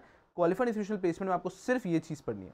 समझो क्वालिफाइड के अंदर चार एस्पेक्ट है जो क्लियर आपके होने चाहिए। पहला कोर प्रोविज़न जो आपके लिए सबसे ज़्यादा इंपॉर्टेंट मतलब ये आपने पढ़ लिया तो क्वालिफाइड इंस्टीट्यूशन प्लेसमेंट ऑलमोस्ट हो गया। उसके बाद में छोटे मोटे तीन और पॉइंट है, वो भी आप देख लो तो अच्छा है।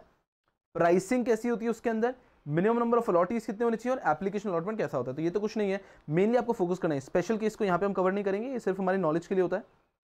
यहाँ पर नहीं आएँगे। चलो, हम बात करते हैं क्वालिफाइड इंस्टीट्यूशनल प्लेसमेंट फोकस करना बहुत अच्छे से। Qualified institutional placement what do mean by qualified institutional placement when a listed company is issuing securities to qualified institutional buyer on private placement basis. समझना ध्यान से।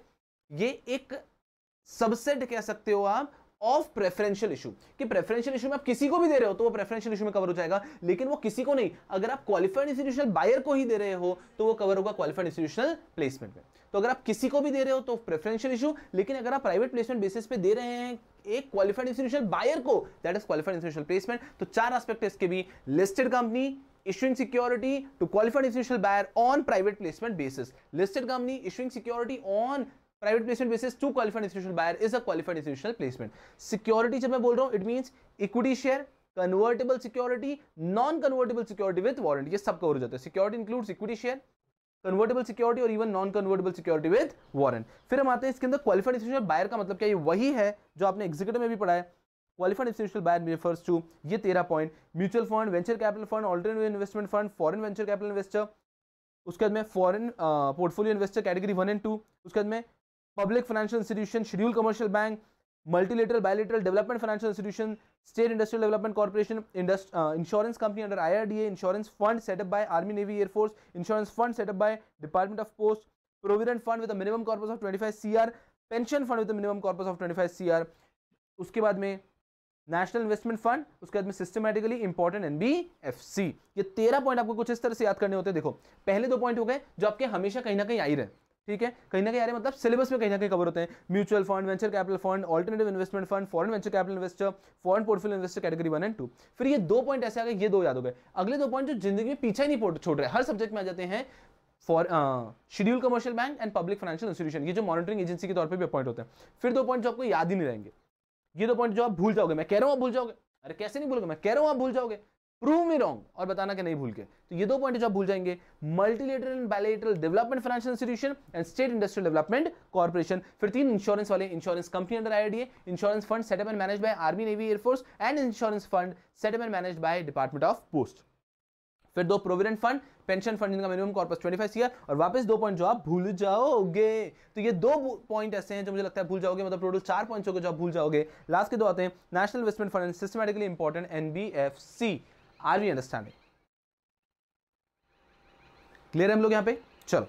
तो listed company issuing security security मतलब ये तीन point to qualified institutional buyer मतलब वो तेरह point on private placement basis अगर क्वालिफाइड इंस्टीट्यूशनल प्लेसमेंट करना है तो क्या क्या कंडीशन कंप्लाई करनी होगी? सबसे पहली condition you to pass a special resolution special resolution की वैलिडिटी विल बी 12 मंथ्स क्या आज स्पेशल रेजोल्यूशन पास किया? तो 12 महीने में क्वालिफाइड इंस्टीट्यूशनल प्लेसमेंट हो जाना चाहिए। अगर नहीं किया है आपने क्वालिफाइड इंस्टीट्यूशनल प्लेसमेंट 12 महीनों के अंदर तो वो इनवैलिड हो जाएगा, फिर आपको वापस से स्पेशल रेजोल्यूशन पास करना होगा। So special resolution is valid for 12 months next equity shares must be of a class already issued and listed for at least one year तो इक्विटी शेयर ऐसा होना चाहिए कि जो पहले इशू किया हुआ है और listed for at least one year which is issued and listed for one year इसके अंदर बहुत सारे कॉम्प्लिकेशन में हम रेगुलर बैच में आते हैं, उतना नहीं चाहूँगा। मैं यहाँ पे आपका सिर्फ़ रिविजन है। मतलब कन्वर्टेबल होगा तो कब होगा कब नहीं होगा सब हमने पढ़ा हुआ है। तो आपको यहाँ पे सिर्फ़ रिविजन के अंदर बात करनी है कि equity shares must be of a class already issued and listed for at least one year then promoter director of the company should not be fugitive economic offender कि हमारे प्रमोटर डायरेक्टर जो है, वो फ्यूजिटिव इकोनॉमिक अफेंडर नहीं होने चाहिए, वरना आप क्वालिफाइड इंस्टीट्यूशनल प्लेसमेंट नहीं कर सकते।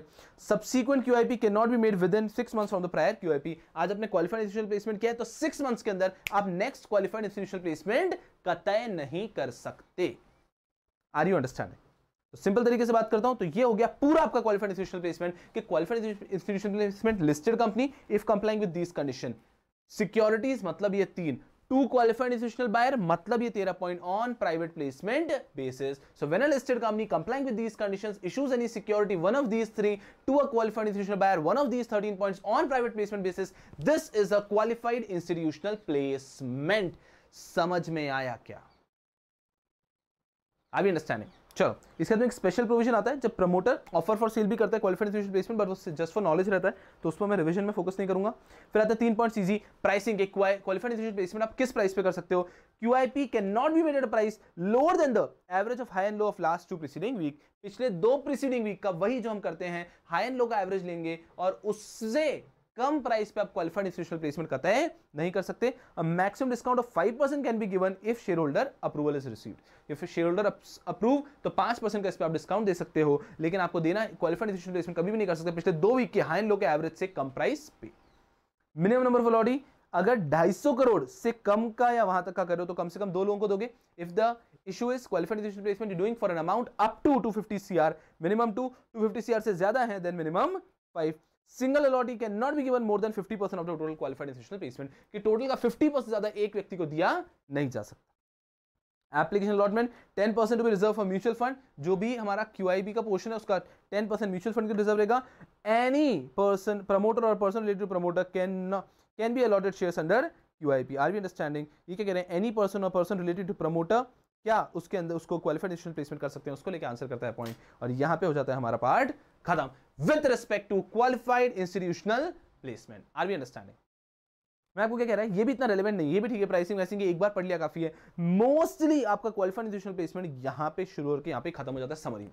इतना सा भी आपने करा है याद रखा है तो आपके एग्ज़ाम में किसी भी टाइप के क्वेश्चन को आंसर करने के लिए आपको क्लिक हो जाएगा अरे हाँ इस तरह से हमने पढ़ा था। Are you getting a fair idea? idea? And this was qualified institutional placement. Without wasting any time, आप लोग full speed में क्या करेंगे? इसको आप करेंगे स्क्रीनशॉट लेंगे इसका। Yes.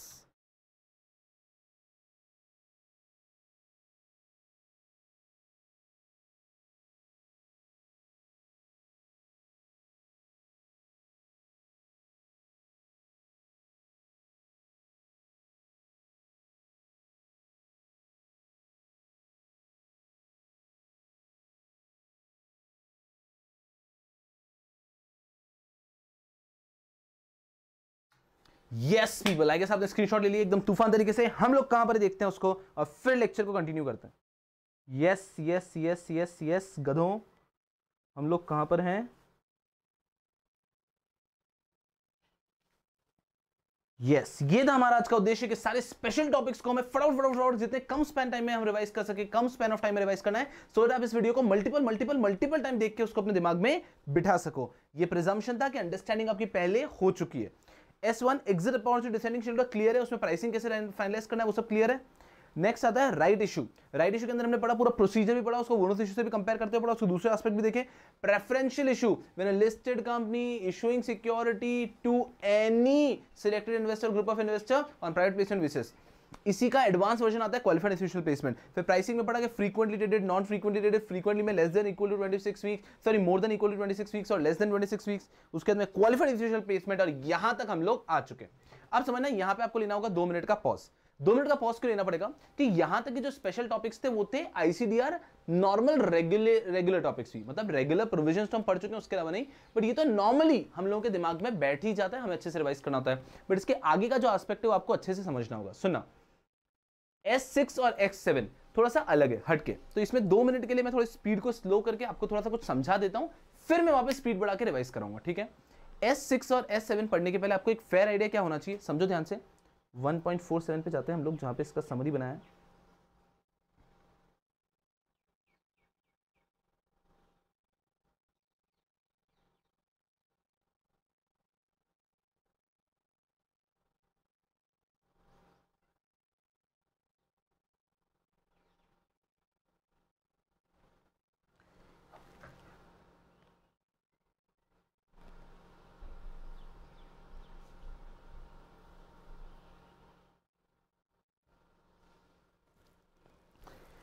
वेट वेट 1.46 पे जाना है अभी हमें।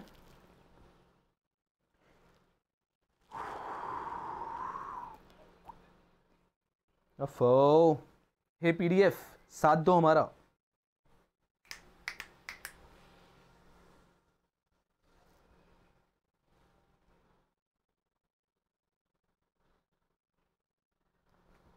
यस फोकस करना है यस सबसे पहले आपको you to understand some background then we can start revising understand very carefully when a share is listed you to understand very carefully दो मिनट मतलब बहुत सारे स्टूडेंट्स को इसके बारे में ज़्यादा अच्छे से बैकग्राउंड नहीं पता होता है। तो एक थोड़ा सा बैकग्राउंड क्रिएट करता हूँ।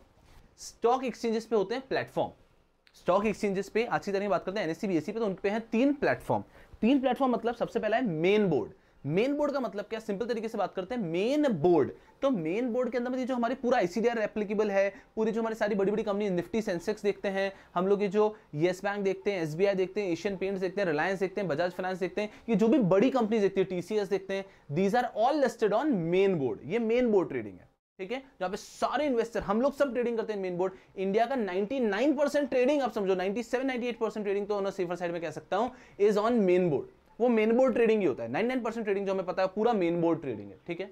लेकिन इसके अलावा भी इंडिया में स्टॉक एक्सचेंज पे ट्रेडिंग होती है, जिसके बारे में हमें ज़्यादा पता नहीं है। तो दो और प्लेटफॉर्म्स हैं स्टॉक एक्सचेंज पे जहाँ पे आप ट्रेड कर सकते हो। एक तो है मेन बोर्ड उसके अलावा दो और प्लेटफॉर्म्स है जहाँ पे ट्रेडिंग होती है शुड से एक होता है SME exchange small and medium enterprise exchange बहुत साल पहले इनके लिए सेपरेट स्टॉक एक्सचेंजेस हुआ करते थे बट वहाँ पे अच्छे से काम नहीं होता था। एंड हेंस फिर एनएससी बीएससी ने कहा कि हम ही एसएमई के भी एक्सचेंजेस करेंगे, हम एसएमई के S M SME SME stands for small medium enterprise इनके भी ट्रेड्स हैंडल करेंगे बट मेन बोर्ड पे नहीं.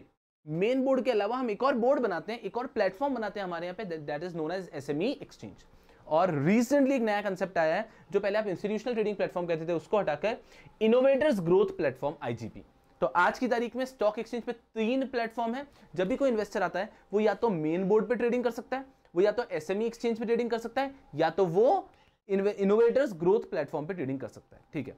जब भी कोई कंपनी अपने शेयर्स इशू करने आती है, तब भी वो चाहे तो मेन बोर्ड पे लिस्ट कर सकती है, चाहे तो एसएमई एक्सचेंज पे कर सकती है, चाहे तो इनोवेटर्स ग्रोथ प्लेटफॉर्म पे कर सकती है। मेरी बात को समझना।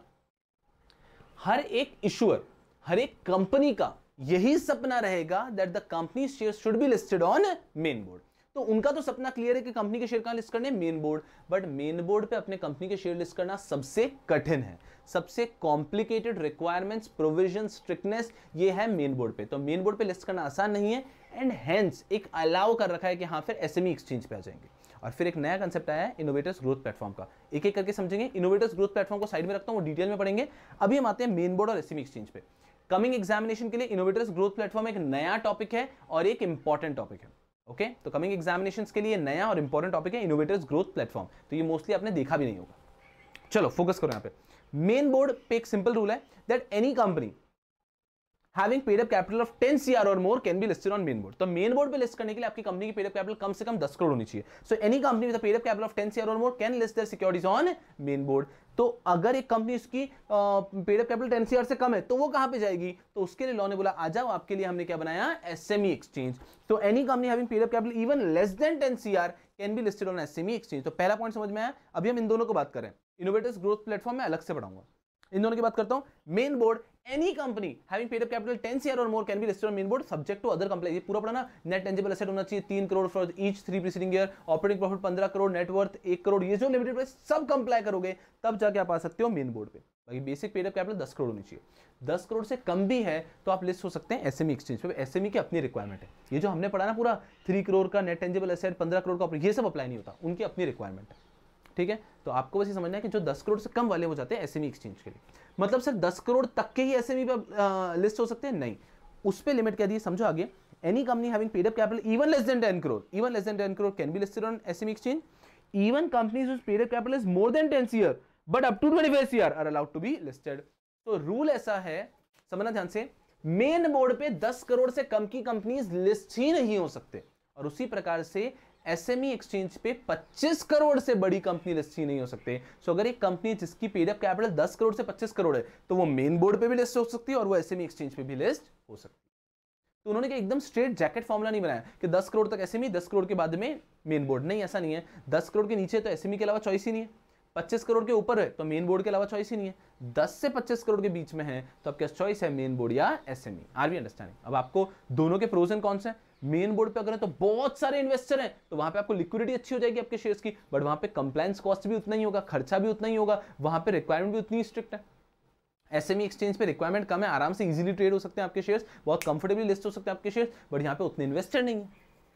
Are you getting a fair sir investor कम क्यों एसएमई e पे? बिकॉज़ एसएमई के शेयर्स मेन बोर्ड के मुकाबले थोड़े से अनसेफ कह सकते हो। मेन बोर्ड के shares are super safe super safe but SME के shares comparatively are a little more riskier वाले शेयर्स क्योंकि उनके अंदर कंप्लाइंस कम हुआ है ना? ऐसा। Minimum application size for SME is going to be one lakh या एसएमई पे अगर आप शेयर्स ट्रेड करें तो minimum application size is one lakh compulsory market making is applicable for three years from listing. मतलब आज आपने एसएमई पे अपने शेयर्स को लिस्ट करा दिए तो आपको कंपल्सरी मार्केट मेकिंग करानी पड़ेगी for three years. Market making मतलब एक ऐसे लोगों को अपॉइंट करना पड़ेगा जो कि शेयर्स को बाय और सेल दोनों करने को रेडी है सो दैट मार्केट में लिक्विडिटी बनी रहे राइट तो market making is mandatory for three years from listing चलो तो ये हो गया आपका एक fair idea about main board and SME clear main board ten CR से ऊपर एसएमई 10 सीआर से कम होगा तो भी चलेगा और अप टू 25 सीआर तक भी चलता है। 25 के ऊपर अलाउड नहीं है। उसके बाद मिनिमम एप्लीकेशन साइज़ कितना होना चाहिए? वन लाख और market making is mandatory for three years from listing clear है? ये हो गया मेन बोर्ड और एसएमई के बारे में। इनोवेटर्स ग्रोथ प्लेटफॉर्म में डिटेल में पढ़ाऊँगा और फिर एक बहुत भारी कंसेप्ट है माइग्रेशन कि मैं एसएमई से मेन बोर्ड पे जाना चाहता हूँ मेन बोर्ड से इनोवेटर जाना चाहता हूँ इनोवेटर से वापस मेन बोर्ड आना चाहता हूँ तो ये सारी चीज़ें अलाउड है, उनकी क्या कॉम्प्लिकेशन से क्या रिक्वायरमेंट है, उस पर आएँगे हम लोग। छोड़ो, हम आते हैं without wasting any time on S seven that is innovators growth platform, which is very important for the coming examination, innovators growth platform. अब दिल खोल के एकदम मस्ती में फोकस करो। The topic we gonna discuss is innovators growth platform एकदम peacefully बैठेंगे और इसको खत्म करेंगे। जिस व्यक्ति जो व्यक्ति ये वीडियो अब दूसरी बार या तीसरी बार देख रहा है जैसे कि मेरा इस वीडियो का ऑब्जेक्टिव क्या है कि ये वो वीडियो समझाने वाले this is not video for understanding purpose understanding के लिए मैं बहुत सारे वीडियोस लाता हूँ। ये पर्पस था कि इतना बड़े चैप्टर को समराइज कैसे करें? तो ये समराइज करने वाला चैप्टर वीडियो है। तो कोई व्यक्ति अगर इस वीडियो को दूसरी आ, दूसरी बार तीसरी बार देख रहा है समरी के लिए तो वो यहाँ से स्पीड को कर सकता है वन ठीक है? क्योंकि अब मैं थोड़ा शांति से आपको बताने वाला हूँ कि ये क्या होता है। इनोवेटर्स ग्रोथ प्लेटफॉर्म दो सवाल सबसे पहले कि सर यहाँ पे कौन अपनी सिक्योरिटीज को इशू कर सकता है और यहाँ पे कौन इन्वेस्टर्स होते हैं, ठीक है? तो पहला सवाल who can get their securities issued who can get their securities listed on IGP innovators growth platform and second who can invest on IGP तो इन्वेस्टर कौन और इश्योर कौन, ये सवाल है। पहला इन्वेस्टर कौन? देखो क्या लिखा है। Qualified institutional buyers and second one is non institutional investor देखो आर आई आई नहीं लिखा है राइट right? चलो तो उस पर पूरा बैकिंग है, उसको लेकर अमेंडमेंट आया था, उसको हटाया गया था, वो सब चीज़ें भी छोड़ो। नॉट आयर पहले लिखाया था, अदर देन आ रहा है, फिर उसको हटाया गया। छोड़ो, हम उतना डिटेल में नहीं जाएँगे, अभी सिंपल बात करता हूँ। तो आपको क्या ध्यान रखना इन्वेस्ट इनोवेटर्स ग्रोथ प्लेटफॉर्म में कौन इन्वेस्ट कर सकता है? Qualified institutional buyer and and non institutional investor तो हम इन्वेस्टर की कैटेगरी रहते हैं, तीन होता है retail individual investor non institutional investor and qualified institutional buyer तो इसमें qualified institutional buyer can invest on innovators growth platform and non institutional investor can also invest on innovators growth platform तो easy ये दो लोग invest कर सकते हैं confusion है now the biggest important point the most important point the biggest question here is आखिर कौन सिक्योरिटीज इश्यू कर सकते हैं? नाम देखो इसका क्या है? इनोवेटर्स ग्रोथ प्लेटफॉर्म तो एक प्लेटफॉर्म क्रिएट किया गया है फॉर इनोवेटर्स ग्रोथ के जो नए नए लोग, जो इनोवेटर्स हैं, जो कंपनीज़ हैं, उनकी ग्रोथ हो सके तो यहाँ पे कौन अपनी सिक्योरिटीज इशू कर सकता है? Issuers which are intensively using technology IT IP intellectual property data analysis data analytics biotechnology nano technology जो इशुअर्स इंटेंसिवली इनमें से कोई बिज़नेस कर रहे हैं, उनके लिए बनाया इनोवेटर्स ग्रोथ प्लेटफॉर्म तो जो इनमें से कोई इंटेंसिवली यूज़ कर रहे हैं एंड एक और कंडीशन जो कंप्लेन होनी चाहिए। Twenty five percent of the pre issue capital pre issued capital यहाँ पे शेयर्स इशू करने के पहले twenty five percent of the capital should be held by for last two years by a QIB और family trust with net worth of more than 500 CR और accredited investor accredited मतलब recognised investor जिनको stock exchange और depository ने recognise किया as accredited investor अरे आप देखते हो एक्रेडिटेड का मतलब कोई भी रिकॉग्निशन मिला हुआ तो इनको डिपॉजिटरी स्टॉक एक्सचेंज ने एक्रेडिटेड इन्वेस्टर का सर्टिफिकेट दे रखा है। ये लोग, और लास्ट में अदर स्पेसिफिक एंटिटीज भी हैं। तो समझो ध्यान से, एक ऐसी कंपनी जो ये दोनों पॉइंट को कंप्लाई कर देती है, सिर्फ़ वो अपने शेयर्स को इशू कर सकती है on IGP innovators growth innovators growth platform यहाँ पे लिस्ट करने के लिए दोनों चीज़ों को कंप्लाई करना बहुत बहुत बहुत अनिवार्य है। नहीं नहीं नहीं ना रुकेंगे हम, ना झुकेंगे हम। सबसे पहला एस्पेक्ट हो गया दैट ये have they have to be intensively using क्या क्या? या तो information technology information technology intellectual property data analysis biotechnology nano technology इनमें से कोई भी इंटेंसिवली यूज़ करें, ठीक है? उसके बाद पिछले दो साल से 25 percent of issue capital should be held by QIB family trust having more than 500 crore का नेटवर्क उसके बाद में हमारे जो एक्रेडिटेड इन्वेस्टर या फिर अ फ्यू स्पेसिफिक एंटिटीज जो मेंशनड एंटिटीज ये लोग होल्ड कर गए अगर ये दोनों कंडीशन कंप्लाई तो ही आपकी सिक्योरिटी इशू हो सकती है on qualified on innovators growth platform अभी गेटिंग अ फेयर आइडिया चलो यार, उसके बाद में आते हैं इनोवेटर्स ग्रोथ प्लेटफॉर्म के अंदर। नीचे देखो listing is allowed with public issue और इवन विदाउट पब्लिक इशू बहुत खास बात है कि यहाँ पे आपकी लिस्टिंग हो सकती है। विद पब्लिक इशू और इवन विदाउट पब्लिक इशू कि आपने पब्लिक इशू किया ही नहीं है? फिर भी आपकी सिक्योरिटीज में लिस्टिंग हो सकती है। Understand very carefully your listing can be done with public issue और even without public issue listing with public issue रहा है तो ये सारे कंडीशन आपको कंप्लाई करना if your listing is with public issue to comply with this condition that is draft of document file करना है मिनिमम पब्लिक शेयर होल्डिंग को कंप्लाई करना है मिनिमम एप्लीकेशन साइज़ कितना हो जाएगा? दो लाख रुपए। मिनिमम नंबर ऑफ़ अलॉटीज रहेंगे fifty six months lock in for pre issue share holders and trading lot भी रहेगा दो लाख रुपए का। तो ये कंडीशंस आपको कंप्लाई करनी है अगर आप लिस्टिंग कर रहे हैं विद पब्लिक इशू सर हम लिस्टिंग कर रहे हैं विदाउट पब्लिक इशू तो सिंपल है, आपको क्या देखना तीन पॉइंट ड्राफ्ट इन्फॉर्मेशन डॉक्यूमेंट आएगा। जैसे ड्राफ्ट ऑफ़र डॉक्यूमेंट आता है draft information document because public issue तो कर ही नहीं रहे आप। उसके बाद में मिनिमम पब्लिक शेयर होल्डिंग आप पे अप्लाई नहीं करेगा। और ट्रेडिंग लॉट आपका कितने का होगा? सेम दो लाख रुपए का। आर यू अंडरस्टैंड खत्म हो गया आईजीपी आईजीपी बस ये आपको पता होना चाहिए। एंड डन तो आईजीपी की चार चीज़ें आपको बतानी चाहिए। पहली चीज़ कि आईजीपी में, अरे सर इन्वेस्टर कौन कौन हो सकते हैं? क्वालिफाइड इंस्टीट्यूशनल बायर और नॉन इंस्टीट्यूशनल इन्वेस्टर सर सबसे बड़ा सवाल। सर, यहाँ पे कौन सी कंपनी शेयर्स इशू कर सकती है? Which is intensively using one two three four five जिसके प्री इशू शेयर होल्डर्स कम से कम ट्वेंटी फाइव परसेंट जो प्री इशू शेयर्स हैं, पिछले दो साल तक या तो क्वालिफाइड इंस्टीट्यूशनल बायर के पास थे, या family trust having network more than five CR के पास है, या एक्रेडिटेड इन्वेस्टर के पास या फिर specific mention investors specific mention entities के पास है। ठीक है? उसके बाद में, सर, इनको लिस्ट कराना है। तो क्या पब्लिक इशू मैंडेटरी है? नहीं। They can be listed with public issue और without public issue with public issue तो ये सब रूल्स को फॉलो करेंगे। विदाउट पब्लिक इशू तो इनका ध्यान रखना है। मिनिमम पब्लिक शेड्यूलिंग अप्लाई नहीं होगा विदाउट पब्लिक इशू कर रहे हैं तो। ड्राफ्ट इन्फॉर्मेशन डॉक्यूमेंट फ़ाइल करना है और ट्रेडिंग लॉट तीन लाख रुपए का।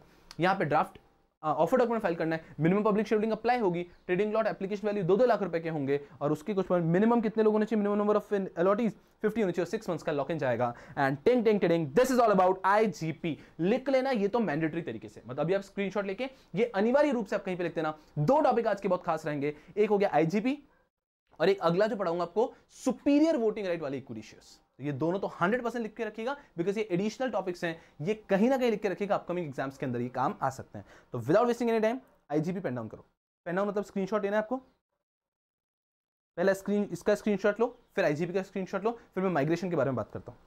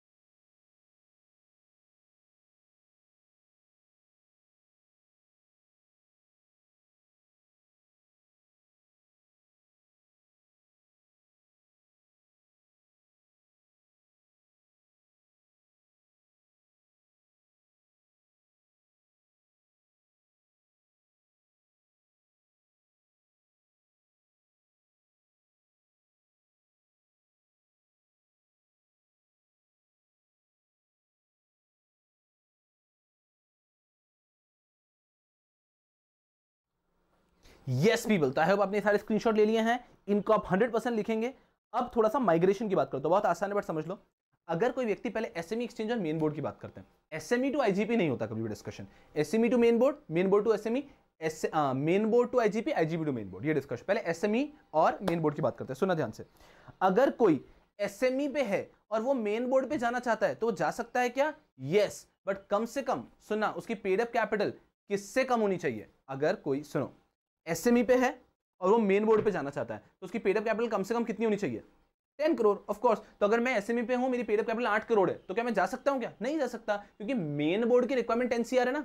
तो एसएमई से मेन बोर्ड वही लोग जा सकते हैं, जिनकी पेड अप कैपिटल दस करोड़ से ज़्यादा है। ठीक है। मैं मेन बोर्ड पे हूँ, मैं एसएमई पे जाना चाहता हूँ, जा सकता हूँ क्या? जा सकते हो बट आपकी paid up capital should be less than 25 CR so main board और एसएमई में एक्सचेंजेस अलाउड है but capital of the company should be within the required limit तो एसएमई की लिमिट है 25 करोड़ के अंदर होना चाहिए और मेन बोर्ड की लिमिट है 10 करोड़ से ज़्यादा होना चाहिए तो इसको सेटिस्फाई करते हैं तो आप स्विचिंग कर सकते हैं। वहीं अगर मैं बात करूँ तो मेन बोर्ड और आईजीपी की तो समझना ध्यान से आईजीपी से मेन बोर्ड पढ़ने वाला टॉपिक है। मेन बोर्ड से आईजीपी पढ़ने वाला टॉपिक नहीं है सुनना आईजीपी से मेन बोर्ड क्यों? मेन बोर्ड से आईजीपी तो आप जा ही नहीं सकते ना। मेन बोर्ड से आईजीपी आप जा ही नहीं सकते। जा क्यों नहीं सकते? Because it is very difficult कि आप उन सब कंडीशंस को कंप्लाई कर रहे हो। बिकॉज़ मेन बोर्ड पे तो any company can be listed with paid capital of 10 CR और मोर बट आईजी पे एनी कंपनी नहीं है ना which is intensively using this जो इनोवेटर्स ग्रोथ है, जो नया कुछ इनोवेशन कर रहे हैं, वही है। Then the possibility is very less so mainly important topic आता है हमारे लिए पढ़ने के लिए कि आईजीपी से मेन बोर्ड तो आईजीपी से मेन बोर्ड जाने के लिए क्या क्या कंडीशन कंप्लाई करनी मेन बोर्ड तो मेन बोर्ड के दरवाजे सबके लिए खुले ना। इनोवेटर है तो भी आ जाओ, नहीं है तो भी आ जाओ। तो आईजीपी पे आप है तो आप मेन बोर्ड पे जा सकते हैं। सब्जेक्ट टू क्या क्या you have to be listed for one year at IGP minimum 200 share holders आपके होने चाहिए। कंपनी आपका प्रमोटर डायरेक्टर विलफुल डिफॉल्टर नहीं होने चाहिए। प्रमोटर डायरेक्टर फिजिटिव ऑफेंडर भी नहीं होने चाहिए और promoter director company should not be debarred by SEBI very obvious points very obvious points कोई मेहनत नहीं करनी है। तो अगर ये पाँचों कंडीशन आप कंप्लाई करते हैं then you can go to the main board subject to general requirement of main board जो उनका है, जैसे कि स्टॉक एक्सचेंज को एप्लीकेशन देना पड़ेगा, वो सब तो कंप्लाई करना ही पड़ेगा। Are understanding share should be fully paid up वगैरह वगैरह। तो जनरल कंडीशन को अप्लाई करते हुए, अगर ये पाँच कंडीशन है तो आप जा सकते हैं। क्या पाँच कंडीशन है? Listed for one year at IGP minimum 200 share holders company आपके जो प्रमोटर डायरेक्टर विलफुल डिफॉल्टर नहीं है। प्रमोटर डायरेक्टर फिजिटिव ऑफेंडर भी नहीं है। और they are not even debarred by SEBI are be understanding तो अगर ये सब कंप्लाई कर लिया तो फिर आप माइग्रेशन कर सकते हैं। एंड यहाँ पे हम आ चुके हैं, यारों। ये हमने कंप्लीट कर लिया है एस सेवन अब सिर्फ़ S8 बाकी है which is equity shares with superior voting right and will be done with the revision yes people चलो फुल स्पीड में माइग्रेशन का आप बोलो स्क्रीनशॉट फुल स्पीड में।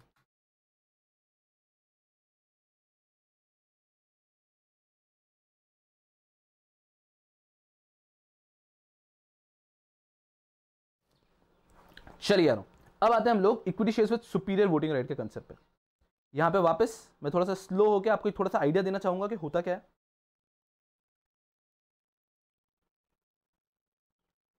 S eight provision relating to superior voting right equity shares S R equity shares समझना थोड़ा शांति से। यार ये होता क्या समझो।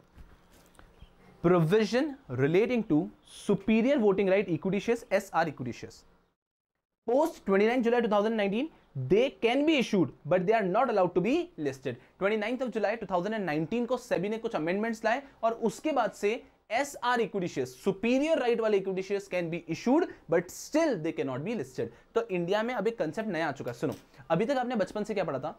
अभी तक आपने बचपन से कंसेप्ट पढ़ा था shares with differential voting right तो अब ये तो हमेशा से पढ़कर आ रहे हैं कि डिफरेंशियल वोटिंग राइट वाले शेयर्स होते हैं मतलब हमारे कंपनी के सारे शेयर्स हैं और ये कुछ शेयर्स होंगे जिनको डिफरेंशियल वोटिंग राइट होंगे। डिफरेंशियल वोटिंग राइट मतलब इनको थोड़ा सा लेसर राइट मिलेगा। बाकी सबको इक्विटी को वोटिंग राइट मिलेगा, इनको वोटिंग राइट नहीं मिलेगा। तो ये बहुत सालों से इंडिया में था और ये हमें पहले से पता है, जो कि कंपनीज़ एक्ट भी कहता है shares with differential voting right where in there are people with voting rights there are people without voting rights right तो ये तो हमेशा से था।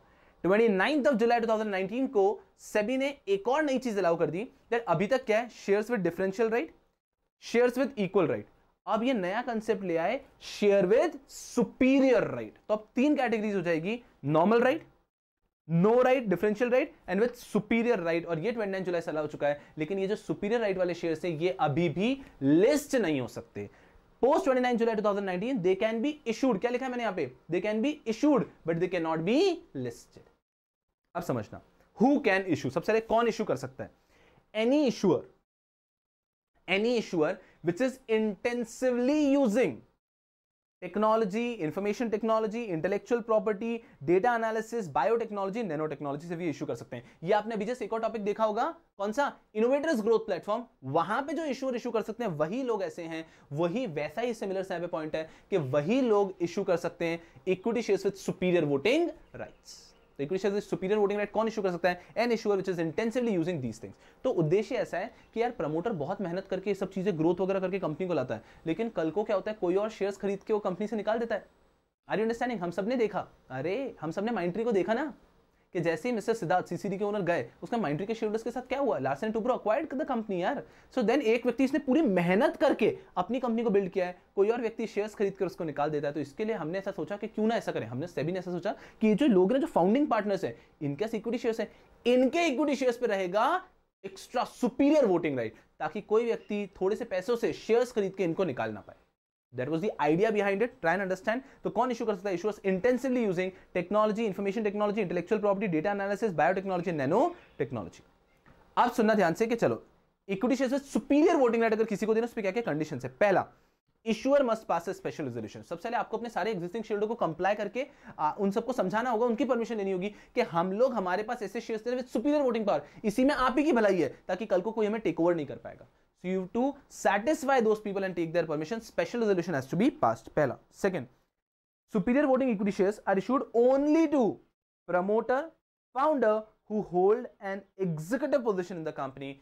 एक ऐसे व्यक्ति को आप दे सकते हैं जो कि प्रमोटर फाउंडर है होल्डिंग एन एग्जीक्यूटिव पोजीशन सिर्फ़ उनको दे सकते हो आप superior voting rights next the superior right share holder shall not be a part of the promoter group ये प्रमोटर ग्रुप के पार्ट नहीं होंगे क्या लिखा है आगे रुको ना सर ये अभी तो का प्रमोटर होना चाहिए। अरे रुको कौन से प्रमोटर ग्रुप के पार्ट नहीं होंगे जिनकी networth is more than 500 CR मतलब सुनो जनरली ये प्रमोटर को ही दिए जाएँगे बट इनका इंटेंशन है छोटे प्रमोटर उनको देंगे। एक ऐसा promoter whose part of promoter group जिसकी networth is more than 500 CR तो उसको नहीं दे सकते। मतलब समझो रिलायंस अगर आप चाहे रिज्यूम कर लो रिलायंस का एक यूनिट है which is into one of these जो कि नैनो टेक्नोलॉजी के अंदर काम कर रहा है। रिलायंस का एक कंपनी है नैनो टेक्नोलॉजी में काम करे तो उसका भी uh, हमारा प्रमोटर डायरेक्टर है मुकेश अंबानी।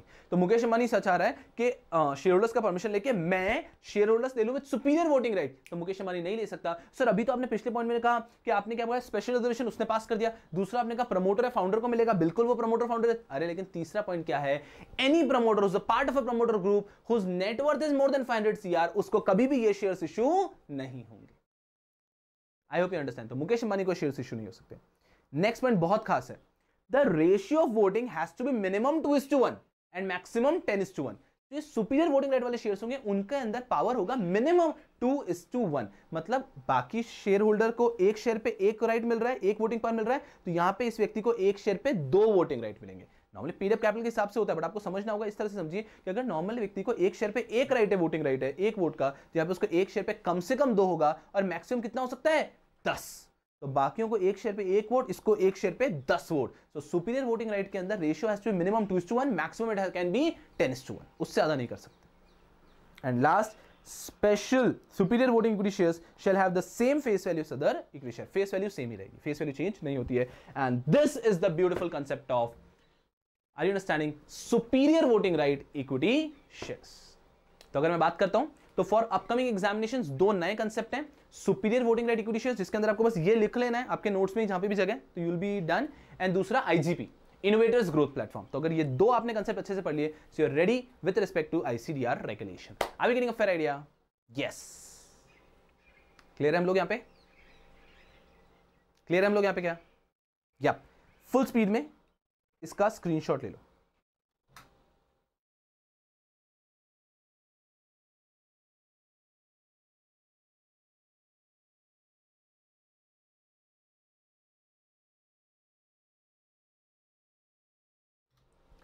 चलिए यार this is done and now we done with special special topics as well मेरी आपसे क्या उम्मीद है? मेरी हर एक स्टूडेंट जिसने रिवीजन हमारा शुरू से लेकर एंड तक रहा है, मैं उससे अपेक्षा करता हूँ कि उसने क्या किया होगा? उसने सारे स्क्रीनशॉट्स संभाल के रखे होंगे, और स्क्रीनशॉट्स के अंदर मान लीजिए कोई स्क्रीनशॉट मैंने लेने का समय नहीं दिया है, फिर किसी कारण से मिस हो गया तो वीडियो में पीछे के उसका स्क्रीनशॉट ले लो। मेरा कहना क्या है, आप सिर्फ़ इस तरह से आईसीडीआर को देखेंगे ना chapter one ICDR regulation it can be divided into two parts regular provision special provision special provision S one S two S three S four करके एस एट तक जाता है। और रेगुलर प्रोविज़न में आता है ये पूरा चार्ट हमारा। ये पूरा चार्ट हमारा।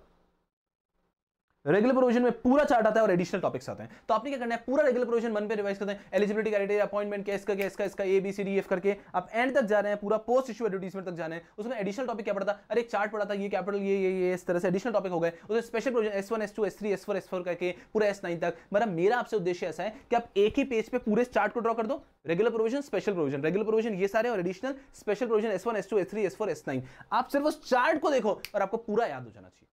और अगर कभी कुछ याद नहीं आता तो उसकी समरी पे मूव ऑन कर लो। तो टाइम निकाल के थोड़ा सा इसको पेन डाउन कर लेंगे। So you trust me ICDR का this was a quick revision I am really sorry for दोस्त जिन लोगों को आईसीडीआर पहले से समझा हुआ नहीं है और वो समझने के उद्देश्य से देख रहे थे। मैं वादा करता हूँ, मैं कुछ ना कुछ आपके लिए वीडियोस लाता रहूँगा, जिससे कि आपको एक एक कंसेप्ट समझाता रहूँ। बिकॉज़ आप समझो, मेरे इस वीडियो से उद्देश्य था कि मैं कंप्रेस करके रिवाइज करा सकूँ, ताकि एक बार व्यक्ति ने समझ लिया है तो उसको याद रखने की प्रॉब्लम ना आए। बिकॉज़ अगर मैं समझाने की बात करूँ तो ICDR goes for more than twenty hours 20 से 25 घंटे सिर्फ़ आईसीडीआर हम पढ़ते हैं, अगर समझने की बात करें। यहाँ पे उद्देश्य था इसका एक क्विक रिविजन एक क्विकी जो कि हमने पर्पस सर्व किया है। आई होप आई होप कि आपको हेल्पफुल रहा होगा। आई ट्राइड के, क्योंकि इंश्योर करूँगा सारे टॉपिक्स बेस्ट पॉसिबल तरीके से आपके दिमाग में बैठाने की कोशिश करूँ। And that is all we done thank you so so so so so so so very much for your love and that be all for ICDR regulation ठाड़ा